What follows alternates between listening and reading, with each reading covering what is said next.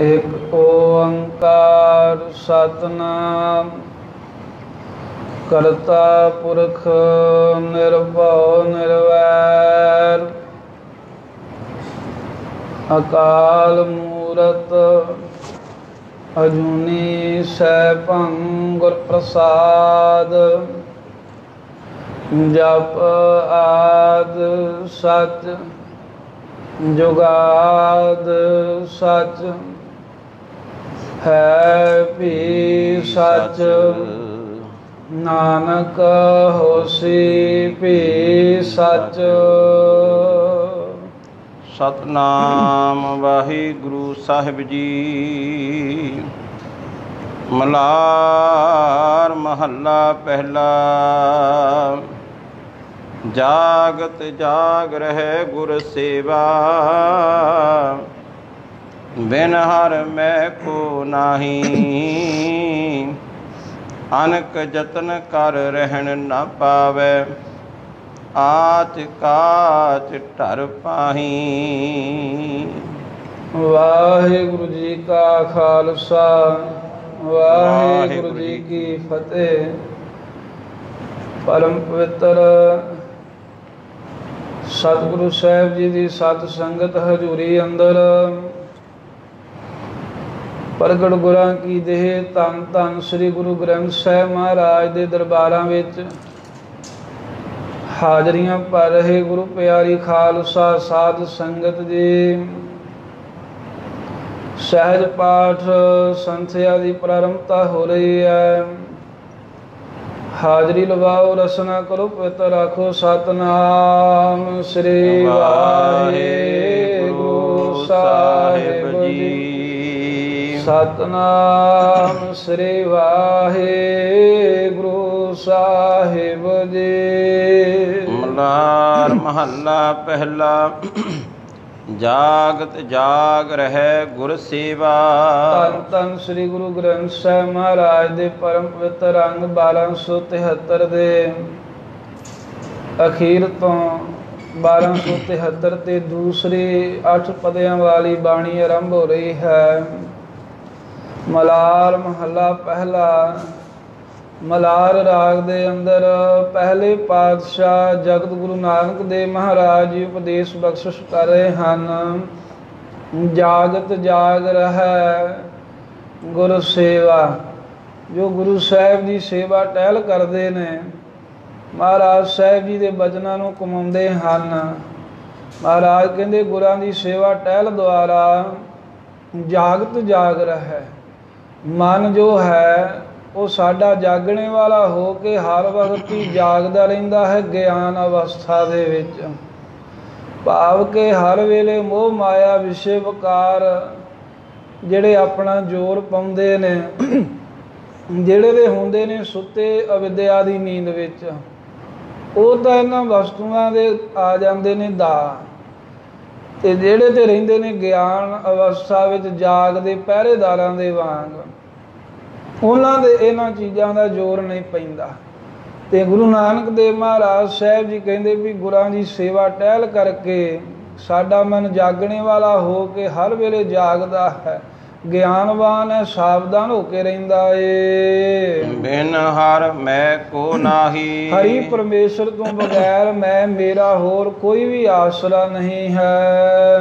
ਅਨਕ ਜਤਨ ਕਰ ਰਹਿਣ ਨਾ ਪਾਵੇ। ਭਾਵੇਂ ਕੋਈ ਪੁਰਖ ਅਨੇਕਾਂ ਹੀ ਯਤਨ ਕਰੇ ਵੀ ਮੈਂ ਆਪਣਾ ਸਰੀਰ ਰੱਖਣਾ ਹੈ ਭਾਵ ਜਿਉਂਦਾ ਰਹਾ। ਪਰ ਮਹਾਰਾਜ ਕਹਿੰਦੇ ਅਨੇਕਾਂ ਹੀ ਯਤਨ ਕਰਨੇ ਤੋਂ ਵੀ ਨਾ। ਰਹਿਣ ਨਾ ਪਾਵੇ ਕੋਈ ਵੀ ਸਰੀਰ ਕਰਕੇ ਜਗਤ ਵਿੱਚ ਸਦਾ ਲਈ ਰਹਿਣਾ ਨਹੀਂ ਪਾ ਸਕਦਾ। ਭਾਵ ਸਵਾਸ ਪੂਰੇ ਹੋਣ ਤੋਂ ਜਗਤ ਤੋਂ ਕੂਚ ਕਰਕੇ ਜਾਣਾ ਹੀ ਪਵੇਗਾ। ਆਚ ਕਾਚ ਢਰ ਪਾਹੀ। ਜਿਵੇਂ ਸਾਧ ਸੰਗਤ ਕਾਚ ਕੱਚ ਉਹਨੂੰ ਜਦੋਂ ਆਚ ਲੱਗਦੀ ਹੈ ਨਾ ਆਚ ਭਾਵ ਅੱਗ ਦਾ ਜਦੋਂ ਸੇਕ ਲੱਗਦਾ ਹੈ ਤੇ ਉਹ ਸੇਕ ਲੱਗਣ ਕਰਕੇ ਕੱਚ ਜਿਹੜਾ ਇਹ ਢਰ ਪਾਹੀ ਢਰ ਪੈਂਦਾ ਏ, ਭਾਵ ਕੱਚ ਪਿਘਲ ਜਾਂਦਾ ਹੈ। ਇਸੇ ਤਰ੍ਹਾਂ ਹੀ ਜਿਹੜਾ ਇਹ ਸਾਡਾ ਸਰੀਰ ਹੈ, ਮੰਨ ਲਓ ਕੱਚ ਦੀ ਨਹੀਂ ਆਈ ਹੈ। ਤੇ ਅੱਗ ਦਾ ਸੇਕ ਲੱਗਣਾ ਇਹ ਹੈ ਵੀ ਜਿਹੜਾ ਕਾਲ ਮੌਤ ਦਾ ਸਮਾਂ ਆਉਂਦਾ ਹੈ। ਜਦੋਂ ਕਾਲ ਰੂਪੀ ਸੇਕ ਲੱਗਦਾ ਹੈ, ਉਸ ਵੇਲੇ ਝਾਟੀ ਢਲ ਜਾਂਦਾ ਏ ਭਾਵ ਨਾਸ ਹੋ ਜਾਂਦਾ ਸਵਾਸ ਪੂਰੇ ਹੋਣ ਤੋਂ ਡਿੱਗ ਪੈਂਦਾ ਏ। ਇਸ ਤਨ ਧਨ ਕਾ ਕਹੋ ਗਰਭ ਕੈਸਾ? ਗਰਭ ਕੈਸਾ? ਗਰਭ ਪੋਲਾ ਹੀ ਮਹਾਰਾਜ ਕਹਿੰਦੇ ਹੈ ਭਾਈ ਦੱਸੋ ਖਾਂ ਕਹੋ ਦਾ ਅਰਥ ਹੈ ਦੱਸਣਾ ਕਰੋ ਕੋਈ ਸਮਝਾਓ ਵੀ ਇਸ ਤਨ ਦਾ ਜਿਹੜਾ ਕੱਚ ਵਾਂਗੂ ਝਾਟੀ ਡਿੱਗ ਪੈਂਦਾ ਹੈ ਧਨ। ਦੌਲਤ ਜੋ ਕਿਸੇ ਕੋਲ ਠਹਿਰਦੀ ਨਹੀਂ ਹੈ ਨਾ ਚੀਜ਼ਾਂ ਦਾ ਕਿਹੋ ਜਿਹਾ ਹੰਕਾਰ ਕਰਨਾ ਹੋਇਆ? ਬਿਨਸਤ ਵਾਰ ਨਾ ਲਾਗੈ ਬਬਰੇ। ਬਵਰੇ ਕਹਿੰਦੇ ਨੇ ਕਮਲੇ ਨੂੰ ਮਹਾਰਾਜ ਗੁਰੂ ਨਾਨਕ ਸਾਹਿਬ ਕਹਿੰਦੇ ਉਹ ਕਮਲਿਆ ਇਹ ਸਰੀਰ ਦੇ ਧਨ ਦੇ ਨਾਸ ਹੁੰਦਿਆਂ ਦੇਰ ਹੀ ਨਹੀਂ ਲੱਗਦੀ ਜਿਹਦਾ ਤੂੰ ਗੁਮਾਨ ਕਰਦਾ ਹੰਕਾਰ ਕਰਦਾ ਹੈ। ਹਉਮੈ ਗਰਭ ਖਪੈ ਜਗ ਐਸਾ। ਇਹ ਜਗਤ ਸੰਸਾਰ ਐਸਾ ਅਜਿਹਾ ਬੇਸਮਝ ਮੂਰਖ ਗਿਆਨੀ ਹੋ ਰਿਹਾ ਏ ਵੀ ਹਉਮੈ ਗਰਭ ਖਪੈ।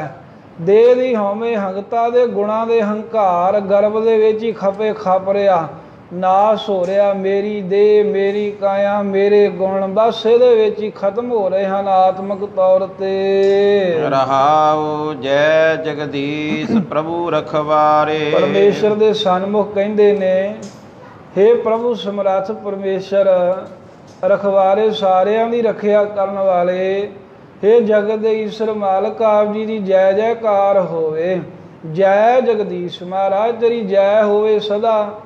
ਜਿਵੇਂ ਮਹਾਰਾਜ ਸਾਹਿਬ ਜੀ ਕਹਿੰਦੇ ਵਾਹਿਗੁਰੂ ਜੀ ਕੀ ਫਤਿਹ ਵੀ ਸਦਾ ਮਹਾਰਾਜ ਤੇਰੀ ਫਤਿਹ ਹੈ। ਜਾਂ ਜੈ ਜਗਦੀਸ਼ ਰੱਖਿਆ ਕਰਨ ਵਾਲੇ ਮਹਾਰਾਜ ਤੇਰੀ ਲੋਕ ਪਰਲੋਕ ਚ ਜੈ ਜੈਕਾਰ ਹੋ ਰਹੀ ਹੈ। ਰਾਖੈ ਪਰਖੈ ਸੋਈ। ਜਿਹੜਾ ਜੀ ਮਹਾਰਾਜ ਤੇਰੀ ਪਰਖ ਪਰਖ ਪੜਤਾਲ ਜਾਂਚ ਵਿੱਚ ਪੂਰਾ ਖਰਾ ਉਤਰ ਜਾਂਦਾ ਹੈ ਨਾ ਵੀ ਵਾਕਿਆ ਹੀ ਜੇ ਬਾਹਰੋਂ ਧਰਮੀ ਬਣਿਆ ਦੇ ਅੰਦਰੋਂ ਵੀ ਧਰਮ ਕਮਾ ਰਿਹਾ ਹੈ। ਮਹਾਰਾਜ ਉਹਨੂੰ ਤੂੰ ਰੱਖ ਹੈ।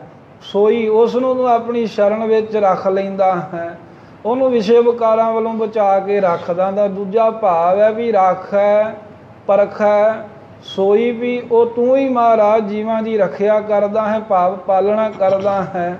ਤੇ ਪਰਖ ਹੈ ਆ ਵੀ ਜੀਵਾਂ ਦੇ ਚੰਗੇ ਮੰਦੇ ਕਰਮਾਂ ਦੀ ਪਰਖ ਕਰਦਾ। ਕਹਿਣ ਨੂੰ ਤਾਂ ਹਰ ਕੋਈ ਅਸੀਂ ਕਹਿੰਨੇ ਆ ਵੀ ਅਸੀਂ ਬੜੇ ਸੱਚੇ ਦੇ ਸੁੱਚੇ ਆ ਪਰ ਜੋ ਚੰਗੇ ਮੰਦੇ ਕਰਮ ਹਨ ਉਹਨਾਂ ਦੀ ਜਾਂਚ ਤੂੰ ਆਪ ਹੀ ਕਰਦਾ ਹੈ। ਜੀਤੀ ਹੈ ਤੇਤੀ ਤੁਝ ਹੀ ਤੇ। ਮਹਾਰਾਜ ਜੇਤੀ ਹੈ ਜਿੰਨੀ ਵੀ ਸ੍ਰਿਸ਼ਟੀ ਹੈ ਪੈਦਾ ਹੋਈ ਤੇਤੀ ਤੁਝ ਹੀ ਤੇ ਉਤਨੀ ਸਾਰੀ ਤੇਰੇ ਤੋਂ ਹੀ ਉਤਪੰਨ ਹੋਈ ਹੈ।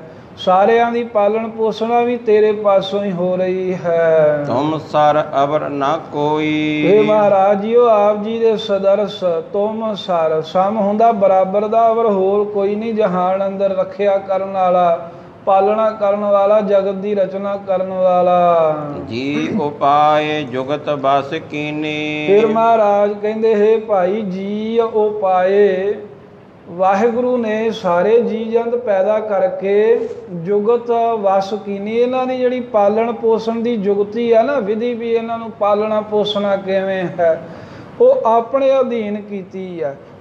ਸਾਰੇ ਜੀਆਂ ਨੂੰ ਪੈਦਾ ਵਾਹਿਗੁਰੂ ਨੇ ਕਰਕੇ ਤੇ ਸਾਰਿਆਂ ਦੀ ਜੀਵਨ ਜੁਗਤ ਆਪਣੇ ਅਧੀਨ ਰੱਖੀ, ਹੁਕਮ ਵਿੱਚ ਰੱਖੀ ਹੈ। ਇਹੀ ਕਾਰਨ ਹੈ ਨਾ ਕਿ ਕੋਈ ਦੂਜਾ ਬੰਦਾ ਜੀਵਨ ਦੇ ਹੀ ਨਹੀਂ ਸਕਦਾ, ਭਾਵੇਂ ਜਿੰਨਾ ਮਰਜ਼ੀ ਕੋਈ ਜ਼ੋਰ ਲਾ ਲਵੇ ਤਰੱਕੀਆਂ ਕਰਕੇ।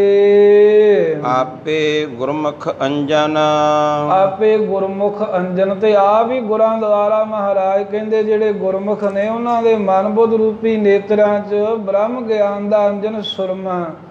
ਗਿਆਨ ਰੂਪੀ ਸੁਰਮਾ ਪਾ ਦਿੰਦਾ ਭਾਵ ਆ ਵੀ ਸੋਝੀ ਬਖਸ਼ਦਾ ਹੈ ਮਾਲਕ। ਅਮਰ ਅਨਾਥ ਸਰਬ ਸਿਰ ਮੋਰਾ। ਮਹਾਰਾਜ ਕਹਿੰਦੇ ਅਮਰ ਅਨਾਥ ਹੈ ਵਾਹਿਗੁਰੂ ਤੂੰ ਅਮਰ ਮਰਨ ਤੋਂ ਰਹਿਤ ਹੈ। ਅਨਾਥ ਤੇਰਾ ਕੋਈ ਸੁਆਮੀ ਨਹੀਂ ਹੈ ਪਰ ਤੂੰ ਉਦਾਂ ਜਿਹੜੇ ਅਨਾਥ ਨੇ ਉਹਨਾਂ ਯਤੀਮਾਂ ਗਰੀਬਾਂ ਦਾ ਸੁਆਮੀ ਹੈ। ਸਰਬ ਸਿਰ ਮੋਰਾ ਤੇ ਸਾਰਿਆਂ ਦੇ ਹੀ ਸਿਰ ਤੋਂ ਸ਼੍ਰੋਮਣੀਆਂ ਦੇ ਮੋਰਾ ਮੇਰਾ ਸੁਆਮੀ ਹੈ ਜੇ ਸਿਰ ਮੋਰਾ ਹੁੰਦਾ ਵੀ ਸਿਰ ਮੋਰ ਹੈ ਮਹਾਰਾਜ ਤੂੰ ਸਾਰਿਆਂ ਤੋਂ। ਕਿਸੇ ਨੇ ਬ੍ਰਹਮਾ ਵੱਡਾ ਮੰਨਿਆ ਕੋਈ ਸ਼ਿਵ ਜੀ ਨੂੰ ਕੋਈ ਵਿਸ਼ਨੂੰ ਨੂੰ ਵੱਡਾ ਮੰਨਦਾ ਪਰ ਤੂੰ ਇਹਨਾਂ ਸਾਰਿਆਂ ਦਾ ਸ਼੍ਰੋਮਣੀ ਹੈ। ਕਾਲ ਬਿਕਾਲ ਭਰਮ ਪੈ ਖੰਜਨ। ਕਾਲ ਨਾਮ ਹੈ ਮਿਰਤੂ ਦਾ ਮੌਤ ਦਾ ਬਕਾਲ ਨਾਮ ਹੈ ਮਿਰਤੂ ਤੋਂ ਵੱਖਰਾ ਸਮਾਂ ਭਾਵ ਜਨਮ ਦਾ। ਉਹਦੇ ਵਿਰੁੱਧ ਦਾ ਸਮਾਂ ਕਾਲ ਬਕਾਲ। ਮਹਾਰਾਜ ਕਹਿੰਦੇ ਕਾਲ ਮੌਤ ਤੇ ਵਿਕਾਲ ਮੌਤ ਦੇ ਵਿਰੁੱਧ ਜਨਮ ਦਾ ਜਿਹੜਾ ਸਮਾਂ ਹੈ ਭਾਵ ਜੰਮਣਾ ਤੇ ਮਰਨਾ ਵਾਰ-ਵਾਰ ਅਤੇ ਫਿਰ ਨਾਲ ਭਰਮ। ਪੰਜ ਪ੍ਰਕਾਰ ਦਾ ਭਰਮ ਭੈ ਸੱਤ ਪ੍ਰਕਾਰ ਦਾ ਖੰਜਨ। ਇਹਨੂੰ ਖੰਜਨ ਕੱਟਣ ਵਾਲਾ ਮਹਾਰਾਜ ਨਾਸ਼ ਕਰਨ ਵਾਲਾ ਏ। ਕਾਗਦ ਕੋਟ ਇਹੋ ਜਗ ਹੈ ਬਪਰੋ। 1274 ਅੰਕ ਤੇ ਗੁਰੂ ਨਾਨਕ ਦੇਵ ਮਹਾਰਾਜ ਜੀ ਕਹਿੰਦੇ ਵੀ ਇਹ ਜਿਹੜਾ ਬਪਰੋ ਵਿਚਾਰ ਆ ਜਿਹੜਾ ਜਗ ਜਗਤ ਸੰਸਾਰ ਹੈ ਇਹਦੀ ਕੋਈ ਬਹੁਤੀ ਮਨਿਆਦ ਨਹੀਂ ਐਵੇਂ ਹੈ ਜਿਵੇਂ ਕਾਗਜ਼ ਕੋਟ ਜਿਵੇਂ ਕਾਗਜ਼ ਮਾਨੋ ਕਾਗਜ਼ਾਂ ਦਾ ਬਣਿਆ ਹੋਇਆ ਕੋਟ ਕਿਲਾ ਹੋਵੇ ਜਿਵੇਂ ਕੋਈ ਕਾਗਜ਼ਾਂ ਦੇ ਕਿਲੇ ਬਣਾ ਲਵੇ। ਰੰਗਨ ਚਹਿਨ ਚਤੁਰਾਈ। ਇਹ ਬਸ ਕਾਗਜ਼ਾਂ ਦੇ ਕਿਲੇ ਵਾਂਗ ਹੀ ਜਗਤ ਹੈ ਤੇ ਜੋ ਪਰਮੇਸ਼ਰ ਨੇ ਆਪਣੀ ਚਤੁਰਾਈ ਭਾਵ ਸਿਆਣਪ ਦੇ ਨਾਲ ਜੁਗਤੀ ਦੇ ਨਾਲ ਉਪਰੋਂ ਕਿਸੇ ਨੂੰ ਗੋਰਾ, ਕਿਸੇ ਨੂੰ ਕਾਲਾ ਕਣਕ ਵੰਨਾ ਇਦਾਂ ਰੰਗਾਂ ਦੇ ਨਾਲ ਰੰਗਨ, ਇਹ ਰੰਗਿਆ ਹੋਇਆ ਹੈ। ਵੱਖੋ ਵੱਖ ਰੰਗ ਸਰੂਪ ਦਿੱਤੇ ਹੋਏ ਹਨ ਸ੍ਰਿਸ਼ਟੀ ਦੇ ਅਤੇ ਚਿਹਨ ਵੱਖੋ ਵੱਖਰੇ ਨਕਸ਼ਾ ਮਧਰੇ ਲੰਮੇ ਦਰਮਿਆਨੇ ਚਿੰਨਾਂ ਵਾਲਾ ਜਗਤ ਨੂੰ ਬਣਾਉਣਾ ਕੀਤਾ। ਐਸੀ ਮਹਾਰਾਜ ਨੇ ਚਿੱਤਰਕਾਰੀ ਕੀਤੀ ਹੈ। ਨਾਨੀ ਸੋ ਨਾਨੀ ਸੀ ਬੂੰਦ ਪਵਨ ਪਤ ਖੋਵੈ। ਪਰ ਇਸ ਤਰ੍ਹਾਂ ਜਗਤ ਨਾਸਵੰਤ ਹੈ ਵੀ ਨਾਨੀ ਸੀ ਬੂੰਦ ਨਾਨੀ ਪਿਛਲੇ ਨੰਨੇ ਦੇ ਭਾਰ ਪਾ ਕੇ ਥੋੜਾ ਬੋਲਣਾ ਤੇ ਨਾਨੀ ਤੋਂ ਭਾਵ ਨਿੱਕੀ ਜੀ। ਕਹਿੰਦੇ ਜਿਵੇਂ ਨਾਨੀ ਸੀ ਨਿੱਕੀ ਜਿਹੀ ਬੱਦਲਾਂ ਦੇ ਵਿੱਚੋਂ ਕੋਈ ਪਾਣੀ ਦੀ ਬੂੰਦ ਆ ਕੇ ਉਸ ਕਾਗਜ਼ ਦੇ ਕਿਲੇ ਦੇ ਪੈਣ ਦੇ ਨਾਲ ਫਿਰ ਜਾਂ ਕਹਿੰਦੇ ਪਵਨ ਹਵਾ ਤੇਜ਼ ਆ ਜਾਵੇ, ਹਵਾ ਦੇ ਵਗਣ ਕਰਕੇ ਪੱਤ ਖੋਵੈ। ਉਹ ਕਾਗਜ਼ਾਂ ਦੇ ਬਣੇ ਕਿਲੇ ਦੀ ਪੱਤ ਜਿਹੜੀ ਹੈ ਨਾ, ਖੋਵੈ, ਖੋਈ ਜਾਂਦੀ, ਖਰਾਬ ਹੁੰਦੀ, ਭਾਵ ਸ਼ੋਭਾ ਗਵਾ ਦਿੰਦਾ ਹੈ, ਇੱਕ ਹਵਾ ਦਾ ਬੁੱਲਾ ਆਵੇ। ਜਾਂ ਇੱਕ ਪਾਣੀ ਦੀ ਬੂੰਦ ਕਾਗਜ਼ ਤੇ ਪੈ ਜਾਵੇ ਉਸੇ ਵੇਲੇ ਉਹਦੀ ਸ਼ੋਭਾ ਗਵਾ ਜਾਂਦੀ ਹੈ। ਜਨਮ ਮਰੈ ਖਿਨ ਤੇ ਤਾਈ ਇਸੇ ਪ੍ਰਕਾਰ ਮਹਾਰਾਜ ਜੀ ਕਹਿੰਦੇ ਵੀ ਖਿਨ ਤਾਈ ਇੱਕ ਛੇਨ ਦੇ ਵਿੱਚ ਹੀ ਜਨਮ ਜੰਮਦਾ ਤੇ ਮਰੇ ਮਰਦਾ ਰਹਿੰਦਾ ਹੈ ਇਹ ਜਗਤ। ਭਾਵ ਜਗਤ ਦੇ ਜੀਵ ਇੱਕ ਛਿਨ ਚ ਜਨਮ ਧਾਰ ਕੇ ਆਉਂਦੇ ਨੇ ਛਿਨ ਚ ਹੀ ਮਰ ਕੇ ਚਲੇ ਜਾਂਦੇ ਹਨ। ਇਹ ਸਾਰਾ ਜਗਤ ਇਸੇ ਪ੍ਰਕਾਰ ਹੀ ਹੈ। ਜਿਸ ਪ੍ਰਕਾਰ ਦੇ ਨਾਲ ਕੋਈ ਕਾਗਜ਼ ਦਾ ਕਿਲਾ ਹੋਵੇ, ਇਹ ਇੱਕ ਪਾਣੀ ਦੀ ਬੂੰਦ ਜਿਵੇਂ ਪਿਆਓ ਕਾਗਜ਼ ਦਾ ਕਿਲਾ ਹਵਾ ਵਗਣ ਦੇ ਨਾਲ ਉਹ ਢਹਿ ਜਾਂਦਾ ਹੈ। ਐਵੇਂ ਇਹ ਮਨੁੱਖਾ ਸਰੀਰ ਜਾਂ ਜਗ, ਇਹਦੇ ਤੇ ਜਦੋਂ ਕਾਲ ਮੌਤ ਰੂਪੀ ਸਾਧ ਸੰਗਤ ਬਦਲਾਂ ਦੇ ਵਿੱਚੋਂ ਆ ਕਰਕੇ ਤੇ ਕਾਲ ਰੂਪੀ ਕਣੀ ਪੈਂਦੀ ਹੈ ਜਾਂ ਕਾਲ ਦੀ ਹਨੇਰੀ ਵਗਣ ਰੂਪੀ ਜਦ ਹਵਾ ਆਉਂਦੀ ਹੈ ਤਾਂ ਝਾਟੀ ਨਾਸ ਹੋ ਜਾਂਦਾ ਹੈ ਤੇ ਜੰਮਦਾ ਮਰਦਾ ਰਹਿੰਦਾ ਏ। ਨਦੀ ਉਪਕੰਠ ਜੈਸੇ ਘਰ ਤਰਵਰ। ਇੱਕ ਹੋਰ ਦਸਤਾਨ ਦਿੰਦੇ ਹਨ ਸਤਿਗੁਰੂ ਮਹਾਰਾਜ ਜੀ। ਕਹਿੰਦੇ ਵੀ ਜਿਵੇਂ ਜਿਸ ਪ੍ਰਕਾਰ ਜੈਸੇ ਤੋਂ ਭਾਵ ਜਿਸ ਤਰ੍ਹਾਂ ਨਦੀ ਉਪਕੰਠ ਕੰਠ ਨਾਮ ਹੈ ਕਿਨਾਰੇ ਤੇ ਉਪਨਾਮ ਹੈ ਨੇੜੇ। ਕਹਿੰਦੇ ਵੀ ਜੋ ਨਦੀ ਹੈ ਨਦੀ ਦੇ ਕਿਨਾਰੇ ਦੇ ਉੱਤੇ ਭਾਵ ਉਹਦੇ ਕੰਢੇ ਦੇ ਉੱਤੇ ਘਰ ਕਿਸੇ ਨੇ ਪ੍ਰਤੱਖ ਘਰ ਬਣਾਇਆ ਹੋਵੇ ਤਰਵਰ ਜਾਂ ਨਦੀ ਦੇ ਕੰਢੇ ਦੇ ਕੋਈ ਰੁੱਖ ਉੱਗਿਆ ਹੋਵੇ। ਸਰਪਨ ਘਰ ਘਰ ਮਾਹੀ। ਅਤੇ ਫਿਰ ਅੱਗੇ ਕਹਿੰਦੇ ਵੀ ਉਸ ਘਰ ਦੀ ਕੀ ਹਾਲਤ ਹੋਵੇਗੀ ਜਿਸ ਇੱਕ ਤਾਂ ਨਦੀ ਦੇ ਕੰਢੇ ਦੇ ਘਰ ਬਣਿਆ।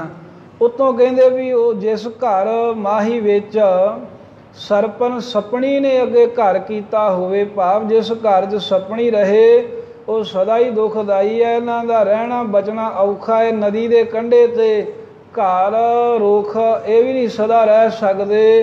ਘਰ ਵਿੱਚ ਸੱਪ ਦਾ ਘਰ ਹੋਵੇ ਤੇ ਤੋਂ ਵੀ ਸਦਾ ਬਚ ਕੇ ਨਹੀਂ ਰਿਹਾ ਜਾ ਸਕਦਾ।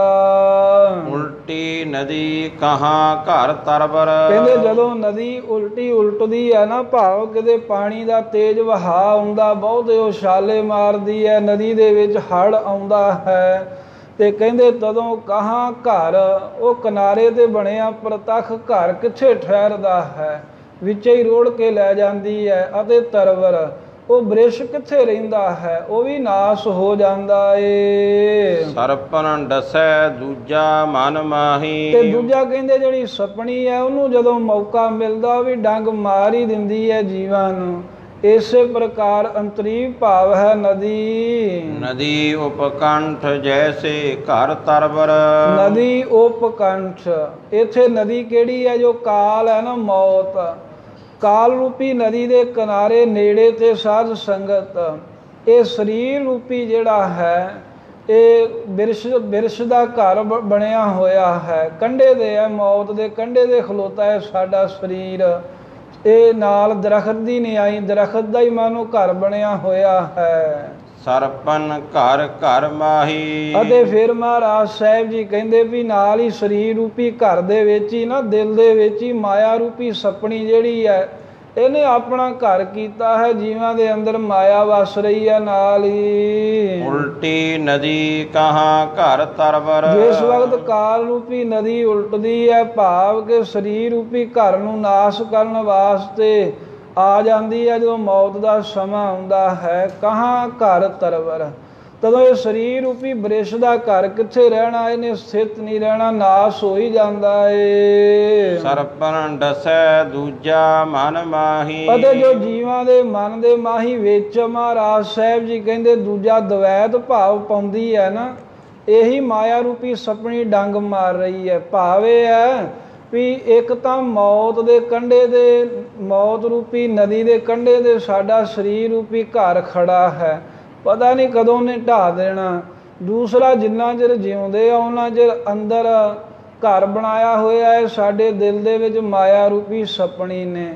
ਉਹ ਦਵੈਤ ਭਾਵ ਰੂਪੀ ਖੁੱਡ ਦੇ ਵਿੱਚ ਵੜੀ ਹੈ ਤੇ ਹਰ ਸਮੇਂ ਜੀਵਾਂ ਨੂੰ ਡੰਗ ਰਹੀ ਹੈ। ਡੰਗਣਾ ਇਹੀ ਹੈ ਜੋ ਜੀਵਨ ਵਿਸ਼ੇ ਵਿਕਾਰਾਂ 'ਚ ਲਾ ਕੇ ਬਰਬਾਦ ਕਰਦੀ ਹੈ। ਹੁਣ ਇਹ ਸਪਣੀ ਤੋਂ ਬਚਣ ਦਾ ਅੱਗੇ ਮਹਾਰਾਜ ਤਰੀਕਾ ਦੱਸਦੇ ਹਨ। ਗਾਰੁੜ ਗੁਰ ਗਿਆਨ ਧਿਆਨ ਗੁਰ ਬਚਨੀ। ਕਹਿੰਦੇ ਜਿਹੜਾ ਗਾਰੁੜ ਗਾਰੜੂ ਮੰਤਰ ਜਿਵੇਂ ਸੱਪਾਂ ਦੇ ਸਾਧ ਸੰਗਤ ਕੀਲਣੇ ਵਾਸਤੇ ਸੱਪਾਂ ਦੇ ਜ਼ਹਿਰ ਉਤਾਰਨ ਵਾਸਤੇ ਹੁੰਦਾ ਇਹ ਕਹਿੰਦੇ ਗੁਰ ਗਿਆਨ। ਜਿਹੜਾ ਗੁਰਾਂ ਦਾ ਬਖਸ਼ਿਆ ਹੋਇਆ ਬ੍ਰਹਮ ਗਿਆਨ ਹੈ ਧਿਆਨ ਗੁਰ ਬਚਨੀ।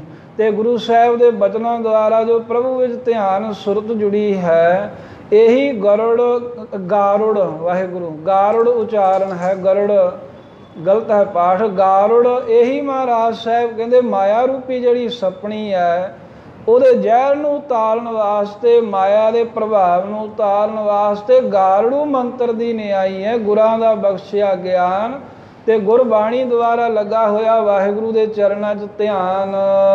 ਵਿਖਿਆ ਗੁਰਮਤ ਜਾਰੀ। ਇਉਂ ਗੁਰੂ ਦੀ ਸਿੱਖਿਆ ਲੈ ਕੇ ਗੁਰੂ ਦੀ ਮਤ ਗੁਰ ਸ਼ਬਦ ਗੁਰ ਗਿਆਨ ਦੁਆਰਾ ਵਿਸ਼ੇ ਵਿਕਾਰਾਂ ਰੂਪੀ ਮਾਇਆ ਦੀ ਜਿਹੜੀ ਵਿਖਿਆ ਵਿਖ ਜ਼ਹਿਰ ਹੈ ਇਹ ਜਾਰੀ ਸਾੜ- ਸਾੜੀ ਜਾ ਸਕਦੀ ਹੈ ਅੰਦਰੋਂ ਇਹਦਾ ਪ੍ਰਭਾਵ ਇਹਦਾ ਅਸਰ ਉਤਰ ਜਾਂਦਾ ਏ। ਮਨ ਤਨ ਹੇਮ ਭਏ ਸੱਚ ਪਾਇਆ। ਮਹਾਰਾਜ ਸਾਹਿਬ ਜੀ ਕਹਿੰਦੇ ਜਿਨ੍ਹਾਂ ਨੇ ਗੁਰੂ ਸਾਹਿਬ ਦੁਆਰਾ ਅਕਾਲ ਪੁਰਖ ਜੋ ਪਰਮੇਸ਼ਰ ਹੈ ਉਹਦੀ ਪ੍ਰੇਮਾ ਭਗਤੀ ਕਰਕੇ ਸੱਚ ਪਾਇਆ ਸੱਚ ਸਰੂਪ ਵਾਹਿਗੁਰੂ ਨੂੰ ਪਾ ਲਿਆ ਏ। ਮਨ ਤਵ ਮਨ ਤਨ ਹੇਮ ਭਏ ਹੇਮ ਨਾਮ ਹੈ ਬਰਫ਼ ਦਾ। ਇਥੋਂ ਬਰਫ਼ ਤੋਂ ਭਾਵ ਲੈਣਾ ਠੰਡਾ ਸ਼ਾਂਤ। ਵੀ ਉਹਨਾਂ ਦੇ ਮਨ ਤਨ ਜਿਹੜੇ ਹਨ ਉਹਨਾਂ ਦਾ ਚਿੱਤ ਉਹਨਾਂ ਦਾ ਸਰੀਰ ਤ੍ਰਿਸ਼ਨਾ ਰੂਪੀ ਵਿਸ਼ੇ ਵਿਕਾਰਾਂ ਦੀ ਭੋਗਣ ਰੂਪੀ ਜਿਹੜੀ ਤਪਸ਼ ਹੈ ਉਸ ਵੱਲੋਂ ਹੇਮ ਸੀਤਲ ਹੋ ਗਏ ਹਨ ਸ਼ਾਂਤ ਹੋ ਗਏ ਨੇ ਬਰਫ਼ ਦੇ ਵਾਂਗ। ਹਰ ਕੀ ਭਗਤ ਨਿਰਾਰੀ। ਪਰ ਹੋਏ ਕੌਣ ਨੇ ਜਿਨ੍ਹਾਂ ਨੇ ਹਰ ਪਰਮੇਸ਼ਰ ਦੀ ਪ੍ਰੇਮਾ ਭਗਤੀ ਕੀਤੀ? ਕਿਉਂਕਿ ਹਰੀ ਦੀ ਜਿਹੜੀ ਭਗਤ ਹੈ ਨਿਰਾਰੀ ਇਹ ਸਾਰਿਆਂ ਨੂੰ ਮਾਇਆ ਦੇ ਮੋਹ ਤੋਂ ਨਿਰਾਰੀ ਨਿਰਾਲੀ ਅਸੰਗ ਕਰਨ ਵਾਲੀ ਹੈ ਜਾਂ ਨਿਰਾਰੀ ਨਾਮ ਹੈ ਵੀ ਇਹ ਸਭ ਤੋਂ ਨਿਰਾਲੀ ਅਨੋਖੀ ਸ੍ਰੇਸ਼ਟ ਹੈ ਜੋ ਵਾਹਿਗੁਰੂ ਦੀ ਬੰਦਗੀ ਕਰਨੀ ਹੈ ਜੀਤੀ ਹੈ ਤੇਤੀ ਤੁਧ ਜਾਚੈ। ਵਾਹਿਗੁਰੂ ਦੇ ਸਨਮੁਖ ਕਹਿੰਦੇ ਮਹਾਰਾਜ ਜਿੰਨੀ ਵੀ ਸ੍ਰਿਸ਼ਟੀ ਬਣਾਈ ਹੈ ਆਪ ਜੀ ਨੇ 33 ਤੁਧ ਜਾਚਾ ਹੈ ਮਹਾਰਾਜ ਸਾਰੀ ਤੇਰੇ ਪਾਸੋਂ ਹੀ ਦਾਤਾਂ ਜਾਚਾ ਮੰਗਦੀ ਹੈ। ਤੂੰ ਸਰਬ ਜੀਆਂ ਦਇਆਲਾ। ਵਾਹਿਗੁਰੂ ਤੂੰ ਸਾਰਿਆਂ ਜੀਵਾਂ ਦੇ ਉੱਤੇ ਦਇਆਲਤਾ ਕਰਨ ਵਾਲਾ ਹੈ ਕਿਸੇ ਦੇ ਵਿੱਚ ਫ਼ਰਕ ਨਹੀਂ ਰੱਖਦਾ ਜਾਨ ਕੋ ਦੇਤ ਅਜਾਨ ਕੋ ਦੇਤ। ਤੁਮਰੀ ਸਰਣ ਪਰੇ ਪਤ ਰਾਖੋ। ਇਹ ਮਹਾਰਾਜ ਸਾਹਿਬ ਜੀਓ ਤੁਮਰੀ ਸ਼ਰਨ ਪਰੇ ਪਤ ਰਾਖੋ। ਅਸੀਂ ਮਹਾਰਾਜ ਆਪ ਜੀ ਦੀ ਚਰਨ ਸ਼ਰਨ ਵਿੱਚ ਪਏ ਹਾਂ। ਸਾਡੀ ਇੱਜ਼ਤ ਪਤ ਰੱਖਣਾ ਕਰੋ ਵਿਸ਼ੇ ਵਿਕਾਰਾਂ ਵੱਲੋਂ। ਸਾਚ ਮਿਲੈ ਗੋਪਾਲਾ। ਇਹ ਗੋਪਾਲ ਪ੍ਰithvi ਦੇ ਪਾਲਣਹਾਰ ਮਹਾਰਾਜ ਮੈਨੂੰ ਤੇਰਾ ਸੱਚਾ ਨਾਮ ਤੇਰੀ ਪ੍ਰਾਪਤੀ ਵਾਸਤੇ ਮਿਲ ਜਾਵੇ। ਸਦਾ ਸਿਮਰਨ ਕਰਦੇ ਰਹੀਏ। ਵਾਦੀ ਧੰਦ ਅੰਧ ਨਹੀਂ ਸੂਝੈ। ਇਹ ਸਾਰੀ ਸ੍ਰਿਸ਼ਟੀ ਮਹਾ- ਮਹਾਰਾਜ ਧੰਦ ਧੰਦਿਆਂ ਵਿੱਚ ਬਾਧੀ ਇਹ ਬੱਝੀ ਹੋਈ ਹੈ ਭਾਵ ਕਿ ਜਿਹੜੇ ਦੁਨੀਆ ਦੇ ਧੰਦੇ ਕਾਰੋ ਵਿਹਾਰ ਨੇ ਇਦਾਂ ਨੇ ਜਿਵੇਂ ਜੰਜੀਰ ਪਈ ਹੋਵੇ, ਪੈਰਾਂ ਨੂੰ ਜਾਂ ਗਲ ਵਿੱਚ ਫਾਹ ਪਿਆ ਹੋਵੇ। ਅੰਧ ਨਹੀਂ ਸੂਝੈ, ਅਗਿਆਨਤਾ ਕਰਕੇ ਅੱਖਾਂ ਦੇ ਹੁੰਦਿਆਂ ਵੀ ਅੰਨੇ ਹੋਏ ਜਿਹੜੇ ਅਗਿਆਨੀ ਪੁਰਖ ਨੇ। ਉਹਨਾਂ ਨੂੰ ਵਾਹਿਗੁਰੂ ਦਾ ਅੱਗੇ ਗਿਆਨ ਨਹੀਂ ਸੁਝਦਾ, ਦਿਖਦਾ ਵੀ ਕਿਵੇਂ ਗਿਆਨ ਹਾਸਲ ਕਰਨਾ ਜਾਂ ਅੱਗੇ ਲੋਕ ਪਰਲੋਕ 'ਚ ਕੀ ਹਾਲਤ ਹੋਵੇਗੀ ਧੰਦਿਆਂ ਕਰਕੇ। ਇਹ ਸੁਝਦਾ ਔੜਦਾ ਦਿਖਦਾ ਹੀ ਨਹੀਂ ਹੈ। ਬਦਕ ਕਰਮ ਕਮਾਵੇ। ਬੱਧਕ ਕਹਿੰਦੇ ਨੇ ਸ਼ਿਕਾਰੀ ਜਿਹੜਾ ਜੀਵਾਂ ਨੂੰ ਮਾਰਦਾ ਹੈ। ਇਸੇ ਕਰਕੇ ਬੱਧਕ ਹਿੰਸਕ ਹੋ ਕੇ ਕਰਮਾਂ ਨੂੰ ਕਮਾਉਂਦੇ ਹਨ ਜੀਵ। ਬੱਧਕ ਕਰਮ ਕਮਾਵੇ ਸਾਰੀ ਸ੍ਰਿਸ਼ਟੀ ਜਿਹੜੀ ਹੈ ਹਿੰਸਕ ਹੋ ਰਹੀ ਹੈ ਇੱਕ ਦੂਸਰੇ ਦਾ ਨੁਕਸਾਨ ਕਰਕੇ ਕਰਮ ਕਮਾ ਰਹੀ ਹੈ। ਸਤਗੁਰ ਮਿਲੈ ਤਾਂ ਸੂਝਸ ਬੂਝਸ ਮਹਾਰਾਜ ਇਹਨਾਂ ਨੂੰ ਸੋਝੀ ਕਿਵੇਂ ਹੋਵੇ ਵੀ ਇਹ ਮਾੜੇ ਕੰਮ ਕਰਨ ਛੱਡ ਦੇਣ? ਕਹਿੰਦੇ ਸਤਿਗੁਰ ਮਿਲੇ ਜੇ ਪੂਰਨ ਸਤਿਗੁਰੂ ਜੀ ਮਿਲ ਜਾਣ ਤਾਂ ਸੂਜਸ ਬੂਜਸ ਤਾਂ ਇਦਾਂ ਹੀ ਉਚਾਰਨ ਕਰਨਾ ਤਾਂ। ਤਾਂ ਸੂਜਸ ਬੂਝ ਤਦੋਂ ਕਹਿੰਦੇ ਵੀ ਇਹ ਹਿੰਸਕ ਪੁਣਾ ਛੱਡ ਕੇ ਇਸ ਲੋਕ ਦੀ ਵੀ ਸੂਝ ਸਮਝ ਆਵੇ ਵੀ ਇੱਥੇ ਰਹਿੰਦੇ ਆ ਮਾਲਕ ਨਾਲ ਕਿਵੇਂ ਜੁੜਨਾ ਹੈ ਤੇ ਬੂਝਸ ਤੇ ਪਰਲੋਕ ਦੀ ਵੀ ਬੂਝ ਸਮਝ ਆਉਂਦੀ ਹੈ ਵੀ ਉੱਥੇ ਕਿਵੇਂ ਲੇਖਾ ਦੇਣਾ ਪੈਂਦਾ ਹੈ। ਇਸ ਲਈ ਮਾੜਾ ਕੰਮ ਨਹੀਂ ਕਰਨਾ ਚਾਹੀਦਾ। ਸੂਝ ਬੂਝ ਭਾਵ ਗਿਆਨ ਹਾਸਲ ਹੋ ਜਾਂਦਾ ਏ। ਸੱਚ ਮਨ ਗਿਆਨ ਤੇ ਸਮਾਵੈ ਸੱਚਾ ਜਿਹੜਾ ਗਿਆਨ ਹੈ ਵਾਹਿਗੁਰੂ ਦਾ ਮਨ ਵਿੱਚ ਸਮਾ ਜਾਂਦਾ ਜਾਂ ਮਨ ਸੱਚੇ ਪਰਮੇਸ਼ਰ ਦੇ ਬ੍ਰਹਮ ਗਿਆਨ 'ਚ ਲੀਨ ਰਹਿੰਦਾ ਹੈ।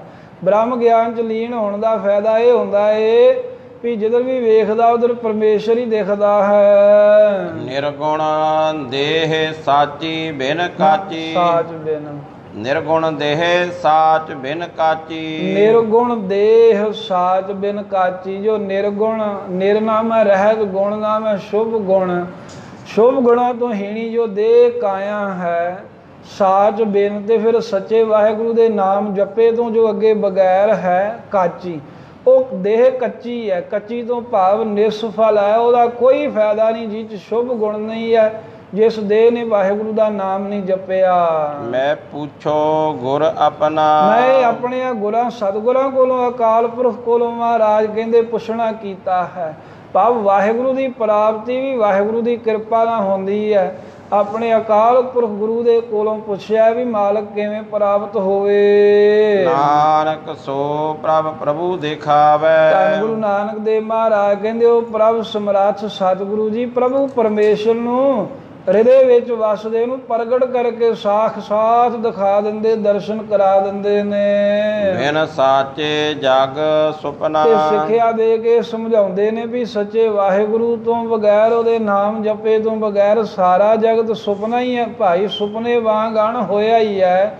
ਝੂਠਾ ਹੀ ਹੈ ਜਿਵੇਂ ਸੁਪਨੇ 'ਚ ਸੜਕ ਦੇ ਕਿਨਾਰੇ ਸੁੱਤਾ ਬੰਦਾ ਵੀ ਰਾਜਾ ਬਣ ਜਾਂਦਾ ਏ। ਪਦਾਰਥਾਂ ਦਾ ਸੁਖ ਮਾਣਦਾ ਜਾਗ ਖੁੱਲਿਆ ਉਹੀ ਅੱਗੇ ਹੁੰਦਾ ਹੈ ਜੋ ਆਪਣੇ ਪੱਲੇ ਹੋਵੇ। ਐਵੇਂ ਜਗਤ ਦੀ ਹਾਲਤ ਹੈ ਝੂਠਾ ਹੀ ਪ੍ਰਤੀਤ ਹੁੰਦਾ ਹੈ ਅਖੀਰ ਨੂੰ ਸਭ ਕੁਝ ਨਾਸ ਹੋ ਜਾਂਦਾ ਏ। ਮਲਾਰ ਮਹੱਲਾ ਪਹਿਲਾ ਚਾਤ੍ਰਿਕ ਮੀਨ ਜਲ ਹੀ ਤੇ ਸੁਖ ਪਾਵੈ। ਦੇਵ ਮਹਾਰਾਜ ਕਹਿੰਦੇ ਪ੍ਰੇਮੀਓ ਜਿਵੇਂ ਚਾਤਰਕ ਪਵੀਹਾ ਇਹ ਸਵਾਂਤੀ ਬੂੰਦ ਮਿਲਣ ਤੇ ਸੁਖ ਪਾਉਂਦਾ ਹੈ। ਅਤੇ ਜੋ ਮੀਨ ਮੱਛੀ ਹੈ ਵੀ ਜਲ ਪਾਣੀ ਤੋਂ ਸੁਖ ਆਨੰਦ ਪਾਉਂਦੀ ਹੈ। ਭਾਵ ਚਾਤਰਕ ਪਪੀਹਾ ਦੇ ਮੀਨ ਮੱਛੀ। ਪਾਣੀ ਤੋਂ ਹੀ ਇਹਨਾਂ ਨੂੰ ਸੁਖ ਪ੍ਰਾਪਤ ਹੁੰਦਾ। ਜਿੰਨਾ ਜ਼ਿਆਦਾ ਪਾਣੀ ਮਿਲੇ ਉਹਨੇ ਸੁਖੀ ਹੁੰਦੇ ਹਨ। ਸਾਰਿੰਗ ਸ਼ਬਦ ਤੇ ਸੁਹਾਈ ਸਾਰਿੰਗ ਜਿਹੜਾ ਇਸੇ ਪ੍ਰਕਾਰ ਸਾਰਗ ਹਿਰਨ ਹੈ ਸ਼ਬਦ ਸੁਹਾਈ ਉਹਨੂੰ ਕੰਡੇ ਹੇੜੇ ਦਾ ਸ਼ਬਦ ਸੁਣਨਾ ਹੀ ਸੋਭ ਨੀਕ ਲੱਗਦਾ ਹੈ। ਉਹ ਕੰਡੇ ਹੇੜੇ ਦੀ ਆਵਾਜ਼ ਸੁਣਦਿਆਂ ਹੋਇਆ ਆਪਣਾ ਸਿਰ ਤੱਕ ਦੇ ਦਿੰਦਾ। ਆਪਾ ਵਾਰ ਦਿੰਦਾ ਸ਼ਿਕਾਰੀਆਂ ਦੇ ਦਾ ਆ ਕੇ ਪਰ ਉਹ ਸ਼ਬਦ ਤੋਂ ਬਗੈਰ ਸੁਖ ਨਹੀਂ ਮੰਨਦਾ। ਇਸੇ ਪ੍ਰਕਾਰ ਚਾਤਰਕ ਮੀਨ। ਚਾਤ੍ਰਿਕ ਮੀਨ ਜਲ ਹੀ ਤੇ ਸੁਖ ਪਾਵੈ। ਜਿਹੜਾ ਸ੍ਰੇਸ਼ਟ ਜਗਿਆਸੂ ਹੈ ਜਿਹਨੂੰ ਵਾਹਿਗੁਰੂ ਨਾਲ ਮਿਲਣ ਦੀ ਆਸਾ ਹੈ ਉਹਦਾ ਚਿੱਤ ਰੂਪੀ ਪਪੀਹਾ ਜੋ ਹੈ ਉਹ ਵਾਹਿਗੁਰੂ ਦੇ ਨਾਂ ਭੇਦ ਹੋਣ ਰੂਪੀ ਸਾਧ ਸੰਗਤ ਜੋ ਸਵਾਂਤੀ ਬੂੰਦ ਹੈ। ਅਤੇ ਜਿਹੜੀ ਬੁੱਧੀ ਰੂਪੀ ਮੱਛੀ ਹੈ ਉਹ ਨਾਮ ਰੂਪੀ ਪਾਣੀ 'ਚ ਤੈਰੀਆਂ ਲਾਉਣ ਤੋਂ ਹੀ ਸੁਖ ਪਾਉਂਦੀ ਹੈ। ਚਿੱਤ ਨੂੰ ਜੇ ਇੱਕ ਭੇਦਤਾ ਪ੍ਰਾਪਤ ਹੋਵੇ ਮਨ ਨੂੰ ਜੇ ਨਾਮ ਦਾ ਧਿਆਨ ਪ੍ਰਾਪਤ ਹੋਵੇ ਬੁੱਧ ਨੂੰ ਤਾਂ ਹੀ ਸੁਖੀ ਹੁੰਦੇ ਹਨ ਜਗਿਆਸੂ ਦੇ। ਸਾਰਿੰਗ ਸ਼ਬਦ ਸੁਹਾਈ। ਜਗਿਆਸੂ ਦਾ ਜਿਹੜਾ ਮਨ ਰੂਪੀ ਹਿਰਨ ਹੈ ਉਹ ਗੁਰੂ ਦੇ ਸ਼ਬਦ ਉਪਦੇਸ਼ ਰੂਪ ਘੰਡੇ ਹੇੜੇ ਦਾ ਹੀ ਜੋ ਸ਼ਬਦ ਹੈ ਗੁਰਾਂ ਦੀ ਜੋ ਸਿੱਖਿਆ ਹੈ ਬਾਣੀ ਦੀ ਧੁਨੀ ਹੈ। ਉਹੀ ਮਨ ਨੂੰ ਸ਼ੋਭ ਨੀਕ ਲੱਗਦੀ ਹੈ ਆਪਣਾ ਮਨ ਦੇ ਦਿੰਦਾ ਭਾਵ ਮਨ ਮਤ ਛੱਡ ਦਿੰਦਾ ਏ। ਜਗਿਆਸੂ ਗੁਰੂ ਮਹਾਰਾਜ ਦੇ ਸ਼ਬਦ ਨੂੰ ਸੁਣਦਿਆਂ ਹੋਇਆਂ। ਰੈਨ ਬਬੀਹਾ ਬੋਲਿਓ ਮੇਰੀ ਮਾਈ। ਮਹਾਰਾਜ ਕਹਿੰਦੇ ਹੇ ਮੇਰੀ ਮਾਈ ਮਾਤਾ ਪਿਤਾ ਰੂਪੀ ਸਖੀ ਜਾਂ ਸੰਤ ਜਨੋ ਜਿਵੇਂ ਸਵਾਂਤੀ ਬੂੰਦ ਦੀ ਪਿਆਸ ਬੁਝਾਉਣ ਵਾਸਤੇ ਰਹਿਣ ਬਬੀਹਾ ਬੋਲਿਓ। ਬੰਬੀਹਾ ਪਪੀਹਾ ਰਾਤ ਰਾਤਰੀ ਨੂੰ ਬੋਲਦਾ ਰਹਿੰਦਾ ਹੈ ਨਾ ਇਸੇ ਪ੍ਰਕਾਰ। ਰਹਾਉ ਰਹਿਣ ਬਬੀਹਾ। ਰੈਨ ਬਬੀਹਾ ਬੋਲਿਓ ਮੇਰੀ ਮਾਈ। ਇਹ ਮਾਤਾ ਪਿਤਾ ਰੂਪੀ ਸੰਤ ਜਨੋ ਮੇਰੀ ਮਾਂ ਜੋ ਪ੍ਰੇਮ ਰੂਪੀ ਅਵਸਥਾ ਦੀ ਰਾਤ ਆਈ ਹੈ ਨਾ ਜੋ ਅਵਸਥਾ ਰੂਪੀ ਰਾਤ ਪ੍ਰੇਮ ਨਾਲ ਭਿੱਜੀ ਹੋਈ ਹੈ। ਭਿੰਨੀ ਰਹਿਣੜੀ ਚਮਕਨ ਤਾਰੇ ਰਾਂ ਜੋ ਪ੍ਰੇਮ ਨਾਲ ਤਰੇਲੀ ਹੋਈ ਭਿੱਜੀ ਹੋਈ ਰਾਤ ਹੈ।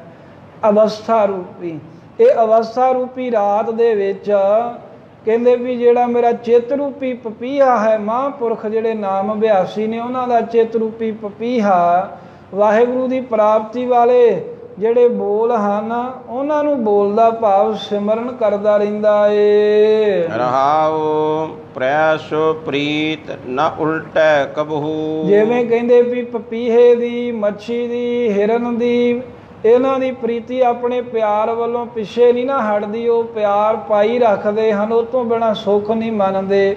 ਇਸੇ ਤਰ੍ਹਾਂ ਗੁਰਮੁਖ ਜਨਾਂ ਦੀ ਪ੍ਰੇਸਿਓ ਪ੍ਰੀਤ ਨਾ ਉਲਟਾ ਕਬਹੂ ਬੇਨਤੀ ਰੂਪੀ ਹੈ ਮਹਾਰਾਜ, ਪਤੀ ਪਰਮੇਸ਼ਰ ਦੇ ਨਾਲੋਂ ਸਾਡੀ ਵੀ ਕਦੀ ਵੀ ਪ੍ਰੀਤੀ ਉਲਟ ਨਾ ਹੋਵੇ। ਉਲਟਣ ਤੋਂ ਭਾਵ ਹੈ ਵੀ ਕਦੀ ਬੇਮੁਖ ਨਹੀਂ ਹੋਣਾ ਚਾਹੀਦਾ। ਜੋ ਤੈ ਭਾਵੈ ਸਾਈ। ਇਹ ਮਹਾਰਾਜ ਜੋ ਤੈ ਤੈਨੂੰ ਪਾਉਂਦਾ ਹੈ ਨਾ ਸਾਈਂ ਮਾਲਕ ਪਰਮੇਸ਼ਰ ਜੀਓ ਉਹੀ ਸਾਰਿਆਂ ਤੋਂ ਉੱਤਮ ਪ੍ਰੀਤ ਹੈ। ਉਹ ਸ੍ਰੇਸ਼ਟ ਪ੍ਰੇਮ ਹੈ ਪ੍ਰੀਤ ਹੈ ਜਿਹੜੀ ਵਾਹਿਗੁਰੂ ਨੂੰ ਪਾਉਂਦੀ ਹੈ। ਤੇ ਮਾਲਕ ਨੂੰ ਵਿਸ਼ਿਆਂ ਦੇ ਨਾਲ ਨਿੰਦਾ ਚੁਗਲੀ ਨਾਲ ਪ੍ਰੇਮ ਕਰਨਾ ਤੇ ਨਹੀਂ ਨਾ ਪਾਉਂਦਾ ਉਹਨੂੰ ਤਾਂ ਪ੍ਰੇਮ ਉਹੀ ਪਾਉਂਦਾ ਹੈ ਜਿਹੜਾ ਪਰਮੇਸ਼ਰ ਦੇ ਨਾਮ ਜਪਣ ਵਾਲਾ ਹੈ। ਇਸ ਕਰਕੇ ਜੋ ਤੈ ਭਾਵੈ ਸਾਈ ਜਿਹੜੀ ਤੈਨੂੰ ਮਹਾਰਾਜ ਪ੍ਰੀਤੀ ਪਾਉਂਦੀ ਆ ਉਹੀ ਸਾਰਿਆਂ ਤੋਂ ਸ੍ਰੇਸ਼ਟ ਹੈ। ਨੀਂਦ ਗਈ ਹਉ ਸ੍ਰੇਸ਼ਟ ਤੋਂ ਭਾਵ ਵੀ ਉਹੀ ਸੁਖਦਾਈ ਹੈ। ਨੀਂਦ ਗਈ ਹਉ ਮੈਂ ਤਨ ਥਾਕੀ। ਗੁਰਮੁਖ ਜਨਾਂ ਦੀ ਅਵਿਦਿਆ ਰੂਪੀ ਨੀਂਦ ਚਲੀ ਗਈ ਹੈ। ਭਾਵ ਕਿ ਮੋਹ ਮਾਇਆ ਵਿਦਿਆ ਵਿੱਚ ਨਹੀਂ ਸੌਂਦੇ। ਹਉਮੈ ਤਨ ਥਾਕੀ ਤੇ ਸਰੀਰ ਵਿੱਚੋਂ ਦੇਹ ਦੀ ਹਉਮੈ ਹੰਗਤਾ ਵੀ ਥਾਕੀ ਥਕਤ ਹੋ ਗਈ ਹੈ। ਥਕਤ ਹੋਣ ਤੋਂ ਭਾਵ ਵੀ ਹਉਮੈ ਵੀ ਨਾਸ ਹੋ ਗਈ ਹੈ ਸੱਚ ਮਤ ਹਿਰਦੈ ਸਮਾਈ। ਅਤੇ ਉਹ- ਉਹਨਾਂ ਦੇ ਹਿਰਦੇ ਦੇ ਵਿੱਚ ਸੱਚੇ ਨਾਮ ਵਾਲੀ ਜਿਹੜੀ ਅਕਲ ਸਮਾ ਗਈ ਲੀਨ ਹੋ ਗਈ ਹੈ ਜਾਂ ਮੇਰੇ ਮਹਾਰਾਜ ਸਾਹਿਬ ਜੀ ਕਹਿੰਦੇ ਹਿਰਦੇ 'ਚ ਸੱਚੇ ਪਰਮੇਸ਼ਰ ਦੇ ਨਾਮ ਦਾ ਅਭਿਆਸ ਕਰਨ ਵਾਲੀ ਅਕਲ ਜਿਹੜੀ ਸਮਾ ਗਈ ਵਸ ਗਈ ਹੈ ਰੁਖੀ ਬਿਰਖੀ ਊਡੋ ਭੂਖਾ। ਜਿਵੇਂ ਪਪੀਹਾ ਸਾਧ ਸੰਗਤ ਕਈ ਤਰ੍ਹਾਂ ਦੇ ਰੂਖੀ ਰੁੱਖਾਂ ਦੇ ਜਿਹੜੇ ਬਾਗਾਂ ਦੇ ਵਿੱਚ ਫਲਦਾਇਕ ਹੁੰਦੇ, ਉਹਨਾਂ ਦੇ ਵੀ ਜਾ ਕੇ ਬੈਠਦਾ ਹੈ ਉੱਡ ਕਰਕੇ, ਉੱਡੋ ਉੱਡ ਕਰਕੇ। ਬਿਰਖੀ ਜਿਹੜੇ ਬਿਰਖ, ਦਰਖਤ ਫਲਾਂ ਤੋਂ ਬਗੈਰ ਖੁਸ਼ਕ ਸੁੱਕੇ ਹੁੰਦੇ ਨੇ, ਉਹਨਾਂ ਦੇ ਵੀ ਜਾ ਕੇ ਉੱਡੋ ਉੱਡਦਾ ਹੈ, ਪਰ ਉੱਥੇ ਬੈਠਾ ਹੋਇਆ ਉਡਾਰੀਆਂ ਮਾਰਦਾ ਰਹਿੰਦਾ ਏ। ਪਰ ਫਿਰ ਵੀ ਭੁੱਖਾ ਭੁੱਖਾ ਹੀ ਰਹਿੰਦਾ ਹੈ ਉਹਦੀ ਭੁੱਖ ਨਹੀਂ ਮਿਟਦੀ ਰੁੱਖਾਂ ਤੇ ਬੈਠਣੇ ਨਾਲ। ਪੀਵਾ ਨਾਮ ਸੁਭਾਈ। ਪਰ ਜਦੋਂ ਪਪੀਆ ਸਵਾਂਤੀ ਬੂੰਦ ਰੂਪੀ ਸਾਧ ਸੰਗਤ ਨਾਮ ਨੂੰ ਪੀਂਦਾ ਹੈ ਨਾ ਸੁਭਾਈ ਤਾਂ ਸੁਭਾਵਕ ਹੀ ਉਹ ਤ੍ਰਿਪਤ ਹੋ ਜਾਂਦਾ ਉਹਦੀ ਭੁੱਖ ਫਲਾਂ ਦੇ ਵਿੱਚ ਨਹੀਂ ਹੈ ਰੁੱਖਾਂ ਤੇ ਨਹੀਂ ਹੈ। ਉਹਦੀ ਭੁੱਖ ਦੀ ਜਿਹੜੀ ਤ੍ਰਿਪਤੀ ਹੈ ਉਹ ਸਵਾਂਤੀ ਬੂੰਦ ਵਿੱਚ ਹੈ। ਇਸੇ ਪ੍ਰਕਾਰ ਰੁਖੀ। ਰੁਖੀ ਬਿਰਖੀ ਊਡੋ ਭੂਖਾ। ਮਹਾਰਾਜ ਸਾਹਿਬ ਕਹਿੰਦੇ ਵੀ ਮੇਰਾ ਚਿੱਤ ਜਿਹੜਾ ਹੈ ਨਾ ਬਬੀਹੇ ਦੀ ਨਹੀਂ ਆਈ। ਇਹ ਕਹਿੰਦੇ ਵੀ ਰੂਖੀ ਖੁਸ਼ਕ ਰੁੱਖ ਜਿਹੜੇ ਹਨ ਤੇ ਬਿਰਖੀ ਬਿਰਖ ਜਿਹੜੇ ਫਲਦਾਰ ਬਾਗਾਂ ਦੇ ਬ੍ਰਿਸ਼ ਹਨ। ਇਹਨਾਂ 'ਚ ਤਿਆਗੀ ਬਣ ਬਣ ਕੇ ਵਾਣ ਪ੍ਰਸਤੀ ਬਣ ਬਣ ਕੇ ਵਾਹਿਗੁਰੂ ਦੇ ਦਰਸ਼ਨਾਂ ਦਾ ਭੁੱਖਾ ਹੋ ਕੇ ਉਹ ਡਾਰੀਆਂ ਮਾਰਦਾ। ਭਾਵ ਕਿ ਜਿਹੜੇ ਜੀਵ ਹਨ ਘਰ-ਬਾਰ ਤਿਆਗ ਕੇ ਜੰਗਲਾਂ 'ਚ ਜਾਂਦੇ ਨੇ ਪਰ ਮਾਲਕ ਦੇ ਦਰਸ਼ਨਾਂ ਵੱਲੋਂ ਭੁੱਖੇ ਹੀ ਰਹਿੰਦੇ ਹਨ। ਪੀਵਾ ਨਾਮ ਸੁਭਾਈ। ਪਰ ਜਦ ਗੁਰਾਂ ਦੁਆਰਾ ਨਾਮ ਰੂਪੀ ਸਵਾਂਤੀ ਬੂੰਦ ਨੂੰ ਪੀਣਾ ਕੀਤਾ ਤਾਂ ਸੁਭਾਵਕ ਹੀ ਤ੍ਰਿਪਤ ਹੋ ਗਏ ਜਿਹੜਾ ਆਨੰਦ ਜੰਗਲਾਂ 'ਚ ਨਹੀਂ ਸੀ ਆਇਆ ਉਹ ਨਾਮ ਦੀ ਬੂੰਦ ਦੇ ਨਾਲ ਤ੍ਰਿਪਤੀ ਆ ਗਈ ਹੈ। ਲੋਚਨ ਤਾਰ ਲਲਤਾ ਬਿਲ ਲਾਤੀ। ਇਸੇ ਕਰਕੇ ਮਹਾਰਾਜ ਕਹਿੰਦੇ ਜਿਹੜੇ ਲੋਚਨ ਸਾਡੀਆਂ ਅੱਖਾਂ ਨੇ ਇਹਨਾਂ ਦੀ ਤਾਰ ਤੇਲ ਦੀ ਧਾਰਾ ਦੇ ਵੱਤ ਲਲਤਾ ਇੱਕ ਇੱਕ ਰਸ ਲਗਾਤਾਰ ਜਿਵੇਂ ਤੇਲ ਦੀ ਧਾਰਾ ਵਿੱਚੋਂ ਟੁੱਟਦੀ ਨਹੀਂ ਹੈ ਨਾ ਜਦੋਂ ਤੇਲ ਇੱਕ ਭਾਂਡੇ ਜਾਂ ਦੂਜੇ ਬਰਤਨ 'ਚ ਪਾਈਏ ਇਸ ਪ੍ਰਕਾਰ ਤੇਲ ਦੀ ਧਾਰਾ ਦੇ ਵੱਤ ਲੋਚਨ ਜੋ ਅੱਖਾਂ ਹਨ ਉਹਨਾਂ ਦੇ ਵਿੱਚ ਇੱਕ ਰਸ ਵਾਹਿਗੁਰੂ ਦੀ ਸਮਾਧੀ ਲੱਗੀ ਹੋਈ ਪਰਮੇਸ਼ਰ ਦਾ ਹੀ ਧਿਆਨ ਜੁੜਿਆ ਹੈ। ਲਲਤਾ ਬਿਲ ਲਾਤੀ ਤੇ ਲਲਤਾ ਨਾਮ ਹੈ ਜ਼ੁਬਾਨ ਰਸਨਾ ਦਾ। ਤੇ ਰਸਨਾ ਵੀ ਮੇਰੀ ਮਹਾਰਾਜ ਸਾਹਿਬ ਕਹਿੰਦੇ ਵਾਹਿਗੁਰੂ ਦੇ ਪ੍ਰਾਪਤੀ ਵਾਲੇ ਹੀ ਬਚਨ ਬੋਲਦੀ ਹੈ। ਉਹਦੀ ਪ੍ਰਲਾਪ ਪ੍ਰਾਪਤੀ ਵਾਸਤੇ ਹੀ ਬਿਲ ਲਾਤੀ ਬਰਲਾਪ ਕਰਦੀ ਸਿਮਰਨ ਕਰਦੀ ਰਹਿੰਦੀ ਹੈ। ਦਰਸ਼ਨ ਪਿਆਸ ਰਜਾਈ। ਅਤੇ ਜੋ ਸੰਸਾਰ ਨੂੰ ਆਪਣੀ ਰਜਾਈ ਰਜਾ ਆਗਿਆ ਚ ਚਲਾਉਣ ਵਾਲਾ ਪਰਮੇਸ਼ਰ ਹੈ। ਉਸ ਮਾਲਕ ਦੇ ਦਰਸ਼ਨ ਦਦਾਰਿਆਂ ਦੀ ਵੀ ਪਿਆਸ ਲੱਗੀ ਹੈ ਉਸ ਦੇ ਦਰਸ਼ਨਾਂ ਦੀ ਵੀ ਵਿਰਤੀ ਧਿਆਈ ਸ਼ਾਵਾਨ ਹੋ ਰਹੀ ਹੈ ਸਾਡੀ। ਪ੍ਰੈ ਬਿਨ ਸਿਗਾਰ ਕਰੀ ਤੇਤਾ ਤਨ ਤਾਪੈ। ਜਿਵੇਂ ਪਤੀ ਵਰਤਾ ਔਰਤ ਜਿਸ ਦਾ ਪਤੀ ਪ੍ਰਾਪਤੀ ਤੋਂ ਬਗੈਰ ਜਿਹੜੀ ਹੋਵੇ ਪ੍ਰੈ ਬਿਨ। ਜੇ ਇਸਤਰੀ ਜੋ ਪਤੀ ਵਰਤਾ ਧਰਮ ਚ ਕਾਇਮ ਹੈ ਪਰ ਪਤੀ ਦੀ ਪ੍ਰਾਪਤੀ ਤੋਂ ਬਗੈਰ ਹੋਵੇ ਭਾਵ ਪਤੀ ਕਿਧਰੇ ਦੂਰ ਹੋਵੇ ਉਹਦਾ ਸ਼ਿੰਗਾਰ ਕਰੀ ਜੇ ਉਹ ਸ਼ਿੰਗਾਰ ਵੀ ਕਰ ਲਵੇ ਜਿੰਨੇ ਸ਼ਿੰਗਾਰ ਸਰੀਰ ਤੇ ਕਰੇਗੀ ਤੇਤਾ ਤਨ ਤਾਪੈ ਉਹਨਾਂ ਹੀ ਉਹਦਾ ਤਨ ਸਰੀਰ ਵਿਛੋੜੇ ਕਰਕੇ ਆਪਣਾ ਸ਼ਿੰਗਾਰ ਵੇਖ ਕੇ ਤਪਦਾ ਹੈ ਪਤੀ ਬਾਝੋਂ ਕਾਪਰ ਅੰਗ ਨਾ ਸੁਹਾਈ। ਉਸ ਸੁਹਾਗਣ ਨੂੰ ਆਪਣੇ ਤਨ ਤੇ ਕੱਪੜੇ ਪਹਿਨੇ ਹੋਏ ਜਿਹੜੇ ਹਨ ਅੰਗਾਂ ਉੱਤੇ ਉਹ ਵੀ ਸੁਹਾਈ ਸੋਹੰਦੇ ਨਹੀਂ ਭਾਵ ਸੋਹਣੇ ਕੱਪੜੇ ਪਾ ਕੇ ਵੀ ਸੁਹਾਗਣ ਹੋਵੇ ਉਤੋਂ ਪਤੀ ਵਰਤਾ ਹੋਵੇ ਉਹਨੂੰ ਖੁਸ਼ੀ ਨਹੀਂ ਮਿਲਦੀ ਜਿਵੇਂ ਇਸੇ ਪ੍ਰਕਾਰ।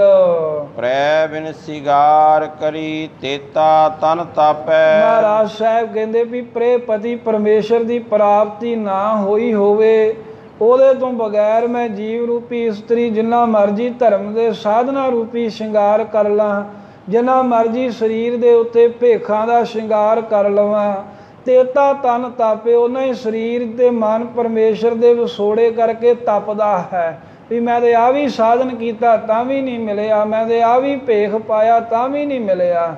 ਪਤੀ ਤੋਂ ਬਗੈਰ, ਵਾਹਿਗੁਰੂ ਦੇ ਮਲਾਪ ਤੋਂ ਬਗੈਰ ਧਰਮ ਦੇ ਸ਼ਿੰਗਾਰ ਵੀ ਦੋਖੀ ਦਿੰਦੇ ਹਨ ਤਨ ਨੂੰ ਤਪਾਉਂਦੇ ਹਨ। ਕਾਪਰ ਅੰਗ ਨਾ ਸੁਹਾਈ। ਤੇ ਭੇਖਾਂ ਰੂਪੀ ਕੱਪੜੇ ਵੀ ਸਰੀਰ ਦੇ ਅੰਗਾਂ ਤੇ ਪਾਏ ਹੋਏ ਸੋਹੰਦੇ ਨਹੀਂ ਹਨ ਜਾਂ ਸਰੀਰ ਰੂਪੀ ਕੱਪੜਾ ਹੈ। ਇਹ ਵੀ ਮਹਾਰਾਜ ਕਹਿੰਦੇ ਸੋਹਣਾ ਨਹੀਂ ਲੱਗਦਾ ਸ਼ੋਭਾ ਨਹੀਂ ਪਾਉਂਦਾ। ਸੁਖਦਾਈ ਨਹੀਂ ਹੁੰਦਾ ਜਿੰਨਾ ਚਿਰ ਵਾਹਿਗੁਰੂ ਦਾ ਮਲਾਪ ਨਾ ਹੋਵੇ। ਆਪਣੇ ਪਿਆਰੇ ਬਿਨ ਇੱਕ ਖਿਨ ਰਹਿ ਨਾ ਸਕੋ। ਆਪ ਦੇ ਪਿਆਰੇ ਪਤੀ ਪਰਮੇਸ਼ਰ ਦੀ ਪ੍ਰਾਪਤੀ ਤੋਂ ਬਗੈਰ ਮੈਂ ਇੱਕ ਸ਼ਿਰ ਮਾਤਰ ਦਾ ਸਮਾਂ ਵੀ ਰਹਿ ਨਹੀਂ ਸਕਦੀ ਮੇਰਾ ਗੁਜ਼ਾਰਾ ਨਹੀਂ ਹੈ। ਬਿਨ ਮਿਲੇ ਨੀਂਦ ਨਾ ਪਾਈ। ਤੇ ਜਿੰਨਾ ਚਿਰ ਵਾਹਿਗੁਰੂ ਪਤੀ ਦਾ ਮਿਲਾਪ ਨਹੀਂ ਹੁੰਦਾ ਉਹਦੇ ਮਿਲੇ ਤੋਂ ਬਗੈਰ ਸ਼ਾਂਤੀ ਰੂਪੀ ਜਾਂ ਸਮਾਧੀ ਲੱਗਣ ਰੂਪੀ ਨੀਂਦ ਨਹੀਂ ਪੈਂਦੀ। ਮਨ ਬੁੱਧ ਰੂਪੀ ਨੇਤਰਾਂ ਦੇ ਵਿੱਚ। ਫਿਰ ਨਜ਼ੀਕ ਨਾ ਬੂਝੈ ਬਪੜੀ। ਮਹਾਰਾਜ ਸਾਹਿਬ ਜੀ ਕਹਿੰਦੇ ਉਹ ਫਿਰ ਪਤੀ ਪਰਮੇਸ਼ਰ ਦਾ ਨਜ਼ਦੀਕ ਹੀ ਆਤਮਾ ਰੂਪ ਹੋ ਕੇ ਵਸ ਰਿਹਾ ਹੈ। ਨਾ ਬੂਝੈ ਬੱਪੜੀ ਪਰ ਮੇਰੀ ਬੱਪੜੀ ਵਿਚਾਰੀ ਤੁਸ ਜੀ ਜਿਹੜੀ ਬੁੱਧ ਹੈ ਮਤ ਹੈ। ਇਸ ਗੱਲ ਨੂੰ ਬੁੱਝਦੀ ਹੋਈ ਨਹੀਂ ਸੀ। ਇਹਨੂੰ ਇਸ ਗੱਲ ਦਾ ਗਿਆਨ ਹੀ ਨਹੀਂ ਸੀ ਵੀ ਮੇਰਾ ਵਾਹਿਗੁਰੂ ਹੀ ਪ੍ਰਕਾਸ਼ ਦਾ ਰੂਪ ਹੈ। ਉਹਦੇ ਕਰਕੇ ਤਾਂ ਮੇਰਾ ਜੀਵਨ ਹੈ। ਸਤਿਗੁਰ ਦੀਆ ਦਿਖਾਈ। ਬਸ ਇਹ ਸੋਝੀ ਉਦੋਂ ਆਈ ਜਦੋਂ ਪੂਰਨ ਸਤਿਗੁਰੂ ਸਾਹਿਬ ਜੀ ਨੇ ਕਿਰਪਾ ਕਰਕੇ ਅੰਦਰੋਂ ਹੀ ਦਿਖਾਈ ਵਿਖਾ ਦਿੱਤਾ। ਉਹਦੇ ਸਾਖਿਆਤ ਦਰਸ਼ਨ ਕਰਾ ਦਿੱਤੇ। ਸਹਿਜ ਮਿਲਿਆ ਤਬ ਹੀ ਸੁਖ ਪਾਇਆ। ਸਹਿਜ ਮਿਲਿਆ ਜਦੋਂ ਮਹਾਰਾਜ ਕਹਿੰਦੇ ਵੀ ਮੈਂ ਸਹਿਜ ਸਰੂਪ ਪਰਮੇਸ਼ਰ ਨੂੰ ਮਿਲਣਾ ਕੀਤਾ ਤਬ ਹੀ ਸੁਖ ਪਾਇਆ। ਤਦੋਂ ਹੀ ਆਤਮਿਕ ਆਨੰਦ ਰੂਪੀ ਸੁਖ ਪਾ ਲਿਆ ਹੈ। ਤ੍ਰਿਸ਼ਨਾ ਸ਼ਬਦ 부ਝਾਈ ਤੇ ਗੁਰੂ ਸਾਹਿਬ ਦੇ ਸ਼ਬਦ ਉਪਦੇਸ਼ ਦੇ ਕਰਕੇ ਰਸਾਂ ਕਸਾਂ ਦੀ ਤ੍ਰਿਸ਼ਨਾ ਵੀ ਬੁਝ ਗਈ ਹੈ। ਮਹਾਰਾਜ ਦੀ ਬਾਣੀ ਨੇ ਹਰ ਪ੍ਰਕਾਰ ਦੇ ਸਾਡੇ ਦੁੱਖ ਕੱਟ ਦਿੱਤੇ ਹਨ ਕਹੋ ਨਾਨਕ ਤੁਝ ਤੇ ਮਨ ਮਾਨਿਆ। ਧੰਨ ਗੁਰੂ ਨਾਨਕ ਦੇਵ ਮਹਾਰਾਜ ਕਹਿੰਦੇ ਹੈ ਮਹਾਰਾਜ ਤੁਝ ਤੇ ਭਾਵ ਤੇਰੀ ਹੀ ਕਿਰਪਾ ਹੋਣ ਤੋਂ ਮਨ ਮਾਨਿਆ ਮੇਰਾ ਮਨ ਚਿਤ ਤੇਰੇ ਦੇ ਮੰਨ ਗਿਆ ਪਤੀਜ ਗਿਆ ਭਰੋਸੇ ਚ ਆ ਗਿਆ ਹੈ ਜਦੋਂ ਤੈਂ ਕਿਰਪਾ ਕੀਤੀ ਹੈ। ਕੀਮਤ ਕਹਿਨ ਨਾ ਜਾਈ। ਇਸ ਕਰਕੇ ਮਹਾਰਾਜ ਤੇਰੇ ਸਮਗਰ ਗੁਣਾਂ ਦੀ ਕੀਮਤ ਸਾਡੇ ਪਾਸੋਂ ਕਹੀ ਨਹੀਂ ਜਾ ਸਕਦੀ। ਮਲਾਰ ਮਹੱਲਾ ਪਹਿਲਾ ਅਸ਼ਟਪਦੀਆ ਘਰ ਦੂਜਾ। ਮਲਾਰ ਰਾਗ ਵਿੱਚ ਗੁਰੂ ਨਾਨਕ ਦੇਵ ਮਹਾਰਾਜ ਅਸ਼ਟਪਦੀਆਂ ਵਾਲੀ ਬਾਣੀ ਦੂਜੇ ਘਰ ਸੁਰ ਤਾਲ ਵਿੱਚ ਉਚਾਰਨ ਕਰਦੇ ਹਨ। ਇੱਕ ਓੰਕਾਰ ਸਤਿਗੁਰ ਪ੍ਰਸਾਦ। ਵਾਹਿਗੁਰੂ ਇੱਕ ਹੈ ਓੰਕਾਰ ਸਰਬ ਦਾ ਪ੍ਰਕਾਸ਼ਕ ਹੈ ਸਤਿਗੁਰਾਂ ਦੀ ਕਿਰਪਾ ਦੁਆਰੇ ਪ੍ਰਾਪਤ ਹੁੰਦਾ ਏ। ਅਖਲੀ ਉਂਡੀ ਜਲ ਭਰ ਨਾਲ। ਕਰਤਾਰਪੁਰ ਸਾਹਿਬ ਵਿੱਚ ਗੁਰੂ ਨਾਨਕ ਦੇਵ ਮਹਾਰਾਜ ਬਿਰਾਜਮਾਨ ਸਨ ਤੇ ਗੁਰਾਂ ਦੇ ਕੋਲੋਂ ਸਕਾਮੀ ਪੁਰਖ ਆਏ ਜਿਹੜੇ ਸਹਿਦ ਕਾਮਨਾ ਦੇ ਕੋਈ ਕਰਮ ਕਰਦੇ ਸਨ ਯਤਨ ਕਰਦੇ ਸਨ ਪੁੰਨ ਆਦਿਕ ਤੇ ਕਹਿਣ ਲੱਗੇ ਮਹਾਰਾਜ ਬ੍ਰਹਮ ਲੋਕ ਤੇ ਸਵਰਗ ਲੋਕ ਦੇ ਜਿਨੇ ਸੁਖ ਨੇ ਨਾ, ਉਹ ਸੁਖ ਕਿਤੇ ਹੋਰ ਨਹੀਂ ਹੈ। ਤਾਂ ਗੁਰੂ ਨਾਨਕ ਦੇਵ ਮਹਾਰਾਜ ਸਾਹਿਬ ਜੀ ਉਸ ਵੇਲੇ ਇੱਕ ਦ੍ਰਿਸ਼ਟਾਂਤ ਦੇ ਕਰਕੇ ਬ੍ਰਹਮ ਲੋਕ ਦੇ, ਸਵਰਗ ਲੋਕ ਦੇ ਸੁਖ ਜਿਹੜੇ ਹਨ, ਉਹਨਾਂ ਕਰਕੇ ਸ਼ਾਂਤੀ ਨਹੀਂ ਮਿਲਦੀ, ਭੋਗ ਕੇ ਫਿਰ ਨਰਕਾਂ 'ਚ, ਜੂਨਾਂ 'ਚ ਡਿੱਗਣਾ ਪੈਂਦਾ ਹੈ। ਇਹ ਸਮਝਾਉਂਦੇ ਹੋਏ ਕਹਿੰਦੇ ਹਨ ਅਖਲੀ ਅਖਲੀ ਉਂਡੀ ਜਲ ਭਰ ਨਾਲ। ਜਿਵੇਂ ਮਹਾਰਾਜ ਕਹਿੰਦੇ ਵੀ ਅਖਲੀ ਊਂਡੀ ਊਂਡੀ ਨਾਮ ਕੂੰਜ ਦਾ ਹੈ। ਵੀ ਕੂੰਜ ਵਰਗਾ ਇੱਕ ਅਖਲੀ ਅਖਲੀ ਸਾਧ ਸੰਗਤ ਲੰਮ ਢੀਂਗ ਨਾਮ ਦਾ ਪੰਛੀ ਹੈ। ਇੱਕ ਵਿਸ਼ੇਸ਼ ਪੰਛੀ ਹੈ ਇਹਨੂੰ ਲੰਮ ਢੀਂਗ ਕਹਿੰਦੇ ਹਨ। ਇਹਦੀ ਗਰਦਨ ਜਿਹੜੀ ਹੈ ਨਾ ਇਹਦੀ ਗਰਦਨ ਦੇ ਹੇਠਾਂ ਇੱਕ ਮਾਸ ਦੀ ਥੈਲੀ ਹੁੰਦੀ, ਬਟੂਆ ਜਿਹਾ ਬਣਾ, ਬਣਿਆ ਹੁੰਦਾ ਹੈ। ਤੇ ਜਦੋਂ ਇਹ ਕਦੇ ਉੱਡ ਕੇ ਜਾਂਦਾ, ਉਹ ਉਹ ਥੈਲੀ ਪਾਣੀ ਦੇ ਨਾਲ ਭਰ ਕੇ ਫਿਰ ਆਕਾਸ਼ ਵੱਲ, ਉੱਚੇ ਪਹਾੜਾਂ ਵੱਲ ਉੱਡ ਕੇ ਜਾਂਦਾ ਏ, ਵੀ ਪਿਆਸ ਲੱਗੇ ਤੋਂ ਉਹਦੇ ਵਿੱਚੋਂ ਹੀ ਪਾਣੀ ਪੀ ਜਾਂਦਾ ਹੈ। ਜਦ ਪਾਣੀ ਮੁੱਕ ਜਾਂਦਾ ਹੈ ਫਿਰ ਥੱਲੇ ਆ ਜਾਂਦਾ ਏ। ਤੇ ਇਹ ਮਨੁੱਖ ਦਾ ਜਿਹੜਾ ਲੱਕ ਹੁੰਦਾ ਨਾ, ਦਰਮਿਆਨੇ ਕਦ ਵਾਲੇ ਦਾ, ਉਹਨਾਂ ਲੰਮਾ ਹੈ ਪੰਛੀ। ਤੇ ਇਹ ਜਾਨਵਰ ਪਾਣੀ ਵਿੱਚ ਖੜਾ ਹੀ ਮੱਛੀਆਂ ਨੂੰ ਪਕੜ ਕੇ ਖਾ ਜਾਂਦਾ ਹੈ।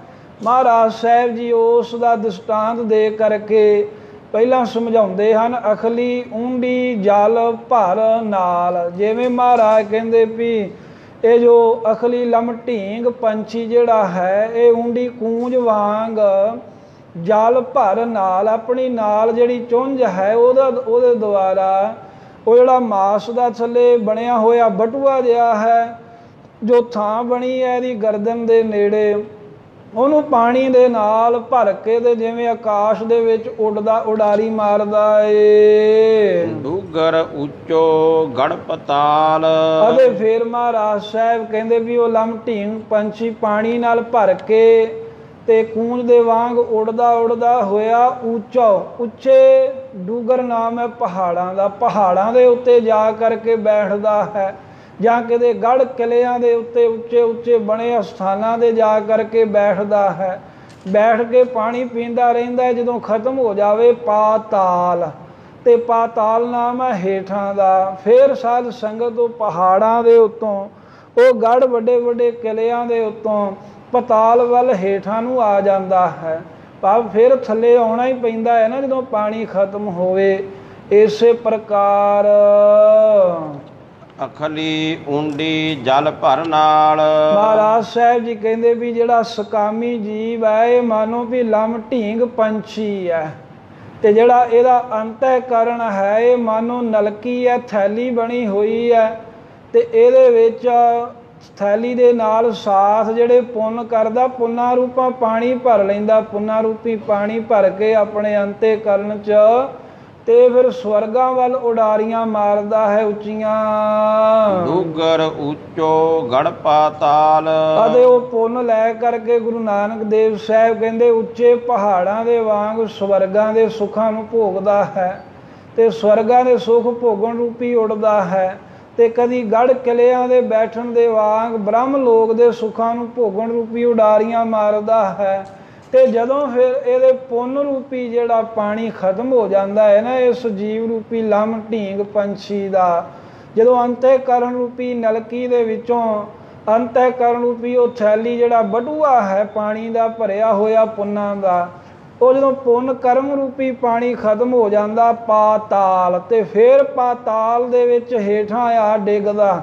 ਭਾਵ ਨਰਕਾਂ ਦੇ ਵਿੱਚ, ਪਤਾਲ ਵਿੱਚ ਡਿੱਗਣ ਦੇ ਵਾਂਗ ਟੇਢੀਆਂ ਜੂਨਾਂ ਦੇ ਵਿੱਚ ਜਾ ਪਹੁੰਚਦਾ ਹੈ।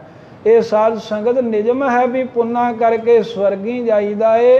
ਪੁੰਨ ਖਤਮ ਹੋਣ ਤੋਂ ਨਰਕੀ ਡਿੱਗਦੇ ਨੇ ਤੇ ਨਰਕਾਂ 'ਚੋਂ ਫਿਰ ਸਜ਼ਾ ਭੁਗਤ ਕੇ ਟੇਢੀਆਂ ਜੂਨਾਂ ਵਿੱਚ ਆਉਂਦਾ ਹੈ ਜੀਵ ਪੁੰਨ ਮੁਕਤੀ ਦਾ ਸਾਧਨ ਨਹੀਂ ਹਨ। ਸਾਗਰ ਸੀਤਲ ਗੁਰ ਸ਼ਬਦ ਫਿਰ ਵਿਚਾਰ ਮਹਾਰਾਜ ਨੂੰ ਸ਼ਾਂਤੀ ਕਿਵੇਂ ਪ੍ਰਾਪਤ ਹੋ ਸਕਦੀ ਹੈ ਕਿਵੇਂ ਹੁੰਦੀ ਹੈ? ਮਹਾਰਾਜ ਕਹਿੰਦੇ ਜਿਹੜਾ ਗੁਰ ਸ਼ਬਦ ਵਿਚਾਰ ਗੁਰੂ ਦੇ ਸ਼ਬਦ ਦੀ ਵਿਚਾਰ ਕਰਕੇ ਸਾਗਰ ਸੀਤਲ ਸੰਸਾਰ ਰੂਪੀ ਸਮੁੰਦਰ ਵਿੱਚ ਰਹਿੰਦਾ ਹੋਇਆ ਇਹ ਵਿਸ਼ੇ ਭੋਗਣ ਵੱਲੋਂ ਸੀਤਲ ਸ਼ਾਂਤ ਹੋ ਜਾਂਦਾ ਹੈ ਸਮੁੰਦਰ ਦੇ ਵਾਂਗ। ਮਾਰਗ ਮੁਕਤਾ ਹਉਮੈ ਮਾਰ। ਹਉਮੈ ਦੇਹ ਦੀ ਹਉਮੈ ਹੰਗਤਾ ਨੂੰ ਮਾਰਨ ਦੇ ਨਾਲ ਉਹਨਾਂ ਨੂੰ ਮਾਰਗ ਮੁਕਤਾ ਮੁਕਤੀ ਦਾ ਮਾਰਗ ਰਸਤਾ ਬ੍ਰਹਮ ਗਿਆਨ ਪ੍ਰਾਪਤ ਹੋ ਜਾਂਦਾ ਏ। ਮੈਂ ਇੱਕ ਦੂਸਰਾ ਅੰਤਰੀਵ ਭਾਵ ਹੋਰ ਇਸ ਅਰਥ ਦਾ ਕਹਿੰਦੇ ਨੇ ਫਿਰ ਪੜਦੇ ਹੋ ਸਾਗਰ ਸੀਤਲ ਅਖਲੀ ਅਖਲੀ ਉਂਡੀ ਜਲ ਭਰ ਨਾਲ। ਮਹਾਰਾਜ ਸਾਹਿਬ ਜੀ ਕਹਿੰਦੇ ਵੀ ਅਖਲੀ ਦਾ ਨਾਮ ਸਾਧ ਸੰਗਤ ਸਾਰਾ ਜਾਂ ਸਮੂਹ ਵੀ ਕਰਦੇ ਨੇ, ਵੀ ਅਖਲੀ ਉਂਡੀ ਜਲ ਭਰ ਨਾਲ ਨਾਲ ਤੋਂ ਭਾਵ ਹੈ ਨਦੀਆਂ, ਇਹ ਜਲ ਪਾਣੀ ਦੇ ਨਾਲ ਭਰ ਭਰੀਆਂ ਹੋਈਆਂ, ਉਂਡੀ ਤੋਂ ਭਾਵ ਹੈ ਨਿਵਾਣ ਵਾਲੇ ਪਾਸੇ ਨੂੰ ਬੜੀ ਤੇਜ਼ੀ ਦੇ ਨਾਲ। ਤੇਜ਼ ਗਤੀ ਨਾਲ ਵਗਦੀਆਂ ਚੱਲਦੀਆਂ ਹਨ ਸਾਰੀਆਂ ਹੀ ਨਦੀਆਂ ਪਾਣੀ ਦੇ ਨਾਲ ਭਰ ਕੇ। ਡੂਗਰ ਉੱਚੋ ਗੜ ਪਾਤਾਲ।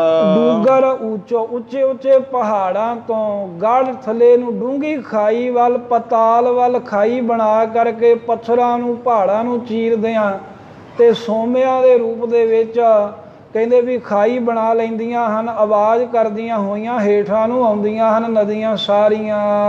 ਸਾਗਰ ਸੀਤਲ ਗੁਰ ਸ਼ਬਦ ਵਿਚਾਰ। ਪਰ ਜਦੋਂ ਸਾਗਰ ਸਮੁੰਦਰ ਦੇ ਵਿੱਚ ਨਦੀ ਪੈ ਜਾਂਦੀ ਹੈ ਫਿਰ ਸੀਤਲ ਸ਼ਾਂਤ ਹੋ ਜਾਂਦੀਆਂ ਨੇ ਸਮੁੰਦਰ ਦਾ ਹੀ ਰੂਪ ਹੋ ਕੇ।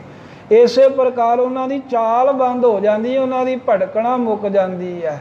ਤੇ ਮਹਾਰਾਜ ਕਹਿੰਦੇ, ਗੁਰ ਸ਼ਬਦ ਵਿਚਾਰ ਇਸੇ ਤਰ੍ਹਾਂ ਜਿਹੜੇ ਗੁਰੂ ਦੇ ਸ਼ਬਦ ਉਪਦੇਸ਼ ਦੀ ਵਿਚਾਰ ਕਰਦੇ ਨੇ ਨਾ, ਉਹਨਾਂ ਦੀਆਂ ਜਿਹੜੀਆਂ ਮਨ ਦੀਆਂ ਸੰਕਲਪਾਂ, ਵਿਕਲਪਾਂ ਰੂਪੀ ਤੇਜ ਚਾਲ ਦੇ ਨਾਲ ਇੰਦਰੀਆਂ ਰੂਪੀ ਨਦੀਆਂ ਵਿਸ਼ੇ ਭੋਗਣ ਰੂਪੀ ਚੱਲ ਰਹੀਆਂ ਹਨ। ਦੇਹ ਦੀ ਹੰਗਤਾ ਨੂੰ ਮਾਰ ਕੇ ਹੰਕਾਰ ਦੀਆਂ ਲਹਿਰਾਂ ਆਤਮ ਗਿਆਨ ਵਿੱਚ ਲੀਨ ਹੋਣ ਤੋਂ ਬਾਅਦ ਫਿਰ ਮਿਟ ਜਾਂਦੀਆਂ ਨੇ। ਜਿਵੇਂ ਨਦੀਆਂ ਜਿਹੜੀਆਂ ਨੇ ਕਿਦਿਓਂ ਧੱਕੇ ਖਾਂਦੀਆਂ ਆਉਂਦੀਆਂ ਸਮੁੰਦਰ 'ਚ ਸ਼ਾਂਤ ਹੁੰਦੀਆਂ ਨੇ ਐਵੇਂ ਜਿਹੜਾ ਇਹ ਸਰੀਰ ਹੈ ਇਹਦੇ ਵਿੱਚ ਜੋ ਸਾਡੇ ਇੰਦਰੇ ਵਿਸ਼ੇ ਵਿਕਾਰਾਂ ਵੱਲ ਜਾਂਦੇ ਹਨ ਇਹ ਗੁਰ ਸ਼ਬਦ ਦੀ ਵਿਚਾਰ ਕਰਕੇ ਗਿਆਨ ਪ੍ਰਾਪਤ ਕਰਕੇ ਸ਼ਾਂਤ ਹੁੰਦੇ ਹਨ। ਮਾਰਗ ਮੁਕਤਾ ਹਉਮੈ ਮਾਰ। ਐਵੇਂ ਮਹਾਰਾਜ ਸਾਹਿਬ ਜੀ ਕਹਿੰਦੇ ਜੋ ਮੁਕਤੀ ਦਾ ਮਾਰਗ ਹੈ ਉਹ ਹਉਮੈ ਹੰਕਾਰ ਨੂੰ ਮਾਰ ਕੇ ਹਉਮੈ ਹੰਕਾਰ ਇਹ ਨਦੀਆਂ ਦੀਆਂ ਲਹਿਰਾਂ ਦੀ ਨਿਆਈ ਹੈ। ਇਹ ਦੂਰ ਕਰਕੇ ਮੁਕਤੀ ਦਾ ਮਾਰਗ ਰਸਤਾ ਬ੍ਰਹਮ ਗਿਆਨ ਭਾਵ ਸਮੁੰਦਰ ਵਿੱਚ ਲੀਨਤਾ ਹੋ ਜਾਂਦੀ ਹੈ। ਮੈਂ ਅੰਧਲੇ ਨਾਵੇ ਕੀ ਜੋਤ? ਮਹਾਰਾਜ ਕਹਿੰਦੇ ਮੈਨੂੰ ਮੈਂ ਅੰਧਲੇ ਮੈਨੂੰ ਅੱਖਾਂ ਤਾਂ ਹੈ ਨਾ ਪਰ ਮੋਹ ਮਾਇਆ ਮਮਤਾ ਕਰਕੇ ਅੰਨੇ ਅਗਿਆਨੀ ਨੂੰ ਨਾਵੇ ਕੀ ਜੋਤ? ਪਰਮੇਸ਼ਰ ਦੇ ਨਾਮ ਦੀ ਜੋਤ ਭਾਵ ਗਿਆਤ ਪ੍ਰਾਪਤ ਹੋਈ ਹੈ ਨਾਮ ਦਾ ਹੀ ਪ੍ਰਕਾਸ਼ ਚਾਨਣ ਮਿਲਿਆ ਹੈ ਸੰਸਾਰ ਰਸਤੇ 'ਚ ਚੱਲਣ ਵਾਸਤੇ। ਨਾਮ ਆਧਾਰ ਚੱਲਾ ਗੁਰ ਕੈ ਭੈ ਭੇਤ। ਗੁਰੂ ਸਾਹਿਬ ਜੀ ਦੇ ਦੱਸੇ ਹੋਏ ਭੇਤ ਵੀ ਗੁਰ ਸ਼ਬਦ ਦਾ ਲੜ ਨਹੀਂ ਛੱਡਣਾ। ਇਹ ਗੁਰਾਂ ਦੇ ਬਖਸ਼ੇ ਹੋਏ ਭੇਤ ਦੁਆਰਾ ਮਹਾਰਾਜ ਸਾਹਿਬ ਜੀ ਕਹਿੰਦੇ ਵਾਹਿਗੁਰੂ ਦਾ ਭੈ ਡਰ ਧਾਰਨ ਕਰਕੇ ਗੁਰਾਂ ਦੇ ਭੇਤ ਆਸੇ ਅਨੁਸਾਰ ਗੁਰਾਂ ਦੀ ਮਰਜ਼ੀ ਦੇ ਅਨੁਸਾਰ ਭੈ ਨੂੰ ਡਰ ਨੂੰ ਅਦਮ ਨੂੰ ਧਾਰਨ ਕਰਕੇ ਨਾਮ ਆਧਾਰ ਵਾਹਿਗੁਰੂ ਦੇ ਨਾਮ ਦਾ ਆਸਰਾ ਲੈ ਕੇ ਚੱਲਾ। ਵਾਹਿਗੁਰੂ ਦੀ ਪ੍ਰਾਪਤੀ ਵੱਲ ਚੱਲਣਾ ਕਰਦਾ ਹਾਂ। ਜਿਵੇਂ ਕਹਿੰਦੇ ਨਾ ਵੀ ਜਿਹੜੇ ਰਸਤੇ ਦਾ ਬੰਦਾ ਭੇਤੀ ਹੋਵੇ ਤੇ ਸੌਖਾ ਪਹੁੰਚਦਾ ਗੁਰਾਂ ਨੇ ਭੇਤ ਬਖਸ਼ਿਆ ਵੀ ਰੱਬ ਦੇ ਭੈ 'ਚ ਰਹਿਣਾ ਹੈ ਤੇ ਸਿਮਰਨ ਕਰਨਾ ਹੈ।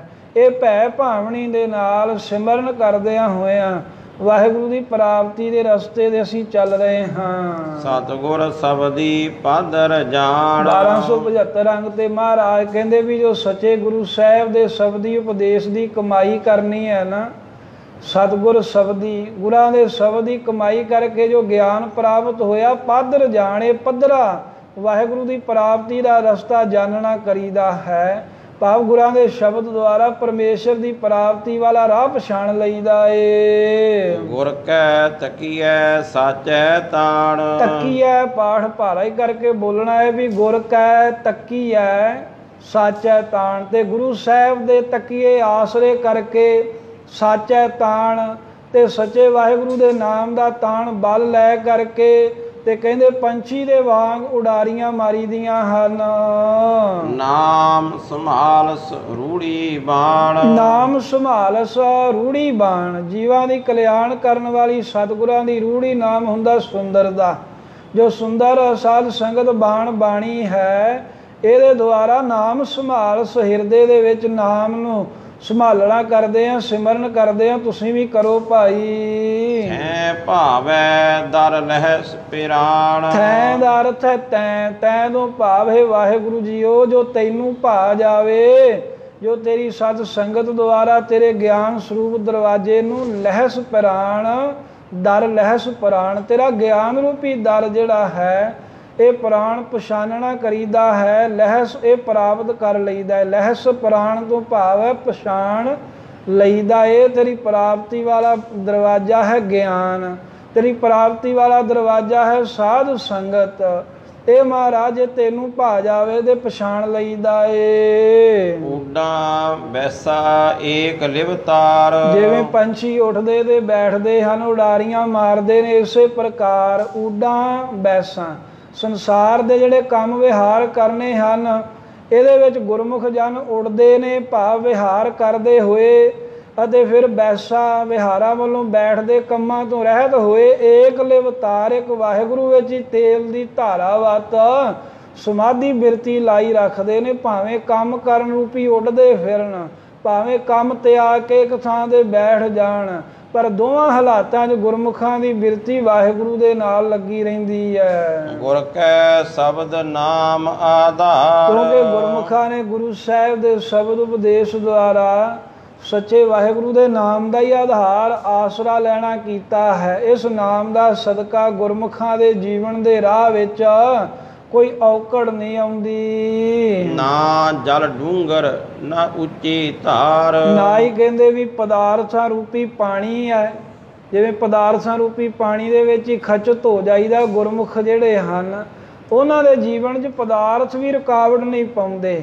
ਅਤੇ ਡੂੰਗਰ ਤੇ ਨਾ ਹੀ ਪੰਜਾਂ ਕੋਸ਼ਾਂ ਰੂਪੀ ਡੂੰਗਰ ਪਹਾੜ ਹੈ। ਭਾਵ ਹੈ ਕਿ ਕਿਸੇ ਪ੍ਰਕਾਰ ਦੇ ਨਾਲ ਪੰਜ ਕੋਸ਼ ਤੇ ਜਾਂ ਡੂੰਗਰ ਉੱਚੇ ਪਹਾੜ ਦੀ ਨਿਆਈ ਹੰਕਾਰ ਨੂੰ ਵੀ ਕੋਈ ਰਾਹ ਵਿੱਚ ਰੁਕਾਵਟ ਨਹੀਂ ਪਾਉਂਦਾ।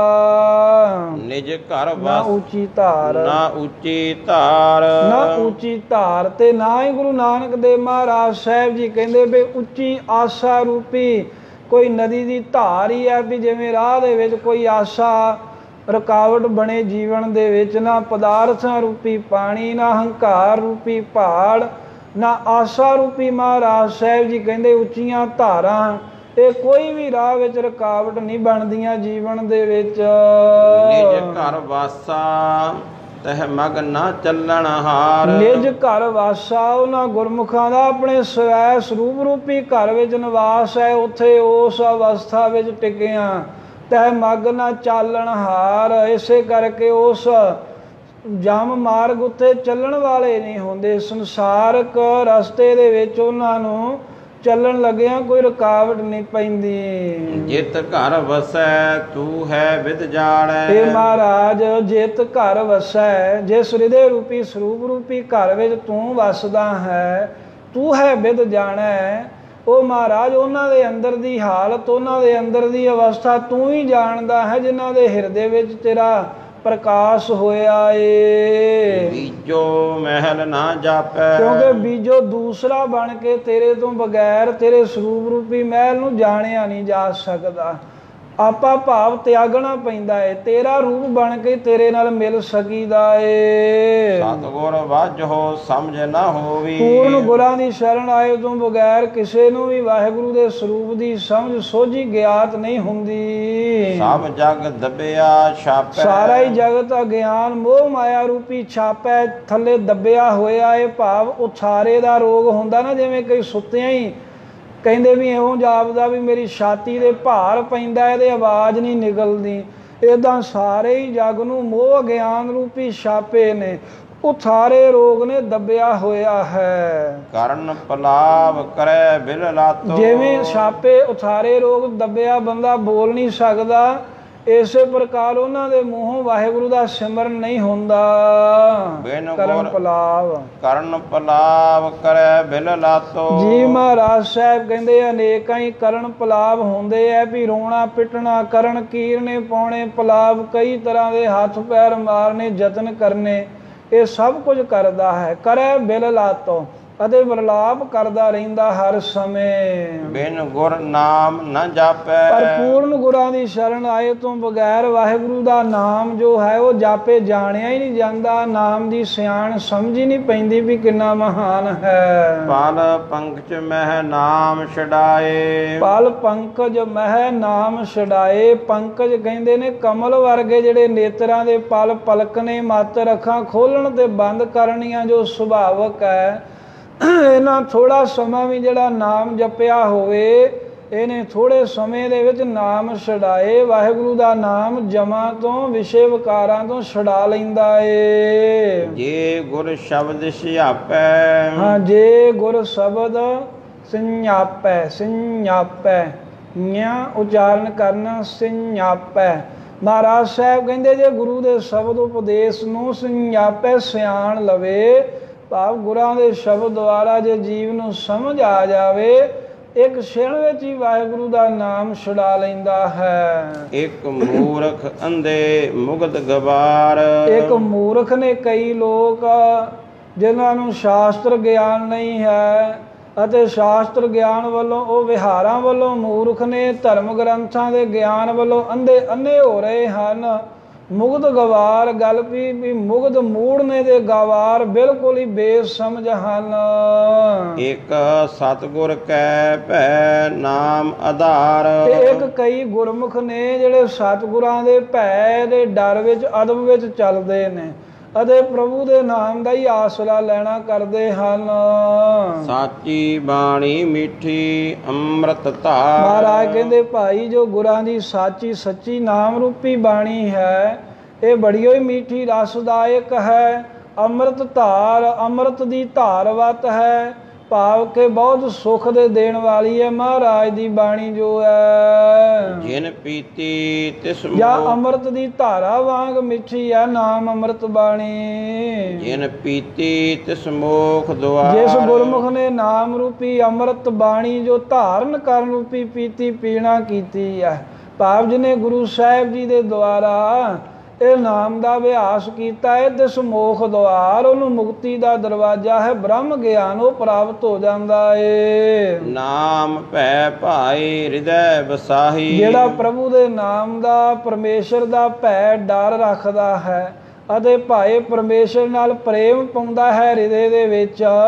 ਤੇ ਹਿਰਦੇ ਦੇ ਵਿੱਚ ਉਸ ਮਾਲਕ ਦੇ ਨਾਮ ਨੂੰ ਤੇ ਪ੍ਰੇਮ ਨੂੰ ਵਸਾ ਕੇ ਰੱਖਦਾ ਹਰ ਸਮੇਂ। ਗੁਰ ਕਰਨੀ ਸਚ ਬਾਣੀ। ਜਾਂ ਨਾਮ ਭੈ ਭਾਏ ਜਿਹੜਾ ਭੈ ਦੇ ਸਹਿਤ ਦੇ ਪ੍ਰੇਮ ਦੇ ਸਹਿਤ ਹੋ ਕੇ ਹਿਰਦੇ 'ਚ ਵਾਹਿਗੁਰੂ ਨੂੰ ਵਸਾਉਂਦਾ ਹੈ। ਇੰਦ ਵਰਸ ਗੁਰ ਕਰਨੀ ਗੁਰ ਕਰਨੀ ਸਚ ਬਾਣੀ। ਤੇ ਗੁਰੂ ਸਾਹਿਬ ਜੀ ਦੀ ਦੱਸੀ ਹੋਈ ਕਰਨੀ ਕਮਾਈ ਭਗਤੀ ਕਰਦਾ ਹੈ ਅਤੇ ਸੱਚ ਬਾਣੀ ਸੱਚੀ ਬਾਣੀ ਦਾ ਅਭਿਆਸ ਕਰਦਾ ਏ। ਉਹ ਮਹਾਰਾਜ ਕਹਿੰਦੇ ਸੁਖੀ ਹਨ ਇੰਦ ਵਰਸੈ ਧਰਤ ਸੁਹਾਵੀ। ਜਿਵੇਂ ਇੰਦਰ ਬੱਦਲ ਦੇ ਵਰਸਣੇ ਕਰਕੇ ਧਰਤੀ ਸੋਭਨੀਕ ਹੋ ਜਾਂਦੀ ਇਸੇ ਪ੍ਰਕਾਰ ਗੁਰੂ ਰੂਪੀ ਜਦੋਂ ਇੰਦਰ ਬੱਦਲ ਵਰਸਦਾ ਹੈ ਧਰਤ ਸੁਹਾਵੀ ਤਾਂ ਉਹਨਾਂ ਜਗਿਆਸੂਆਂ ਦੀ ਬੁੱਧ ਰੂਪੀ ਅੰਤःਕਰਨ ਰੂਪੀ ਧਰਤੀ ਸ਼ੁਭ ਗੁਣਾਂ ਦੀ ਹਰਿਆਵਲਤਾ ਦੇ ਨਾਲ ਸੋਭਨੀਕ ਹੋ ਜਾਂਦੀ ਹੈ ਘਟ ਘਟ ਜੋਤ ਸਮਾਣੀ। ਜਿਵੇਂ ਬੱਦਲ ਲਿਸ਼ਕਣੇ ਕਰਕੇ ਜੋਤ ਜਿਹੜੀ ਹੈ ਬਿਜਲੀ ਘਰਾਂ ਘਰਾਂ 'ਚ ਚਾਨਣ ਕਰ ਦਿੰਦੀ ਹੈ ਐਵੇਂ ਜਦੋਂ ਗੁਰੂ ਮਹਾਰਾਜ ਜੀ ਕਿਰਪਾ ਕਰਦੇ ਨੇ ਤੇ ਸਾਰਿਆਂ ਘੜਾਂ ਘੜਾਂ ਦੇ ਵਿੱਚ ਵਾਹਿਗੁਰੂ ਦੀ ਜੋਤ ਸਮਾਣੀ ਸਮਾਈ ਹੋਈ ਹੈ ਇਹ ਨਿਸ਼ਚਾ ਹੋ ਜਾਂਦਾ ਭਰੋਸਾ ਹੋ ਜਾਂਦਾ ਏ। ਕਾਲਰ ਬੀਜ ਸੁਦੁਰਮਤ ਐਸੀ। ਮਹਾਰਾਜ ਕਹਿੰਦੇ ਵੀ ਜਿਹੜੇ ਮਨਮੁਖ ਨੇ ਜਿਵੇਂ ਉਹ ਕਾਲਰ ਬੀਜਸ, ਕਲਰ, ਕਾਲਰ, ਕਲਰ ਬੰਜਰ ਜ਼ਮੀਨ ਦੇ ਵਿੱਚ ਜਿਵੇਂ ਬੀਜ ਨੂੰ ਬੀਜਣਾ ਕਰੇ ਕੋਈ, ਤਾਂ ਉਹਨੂੰ ਕੁਝ ਵੀ ਨਹੀਂ ਨਾ ਪ੍ਰਾਪਤ ਹੋ ਸਕਦਾ। ਕੀ ਲਾਭ ਹੋਵੇਗਾ? ਬੀਜ ਵੀ ਖਰਾਬ ਹੀ ਹੋਵੇਗਾ।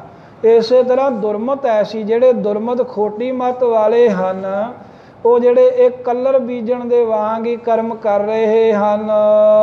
ਨੇ ਗੁਰੇ ਕੀ ਨੀਸਾ ਇਹਨੇ ਗੁਰੇ ਗੁਰਾਂ ਤੋਂ ਹੀਣੇ ਪੁਰਖਾਂ ਦੀ ਨੀਸਾਨੀ ਨਿਸ਼ਾਨੀ ਹੈ ਵੀ ਕਲਰ ਦੇ ਵਿੱਚ ਹੀ ਬੀਜਦੇ ਨੇ।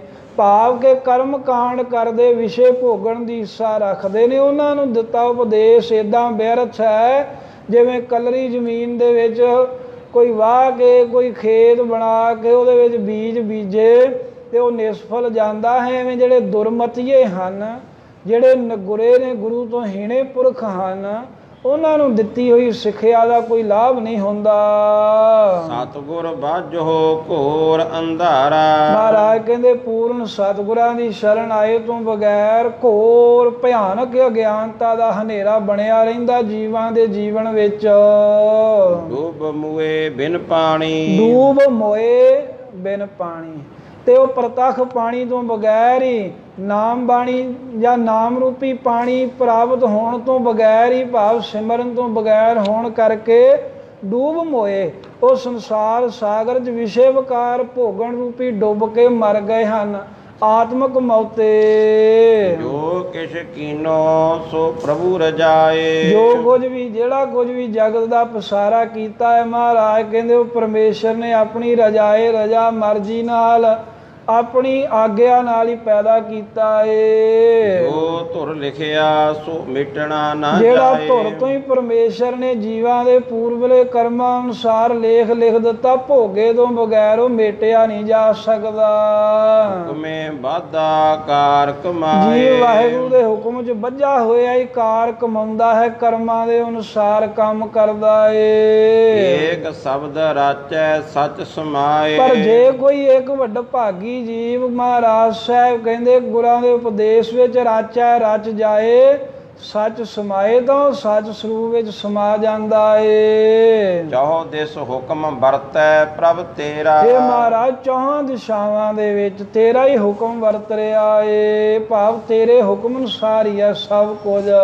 ਜੋ ਦਿਸ ਨਾਮ ਪਤਾਲੰ ਅਤੇ ਮਹਾਰਾਜ ਚਾਹੋ ਦੇਸ ਚਾਰੇ ਦਿਸ਼ਾਵਾਂ ਦੇ ਵਿੱਚ ਤੇ ਪਤਾਲੰਗ ਪਤਾਲ ਆਦਿਕ ਤੇਰਾ ਨਾਮ ਹੀ ਪ੍ਰਸਿੱਧ ਪ੍ਰਗਟ ਹੈ।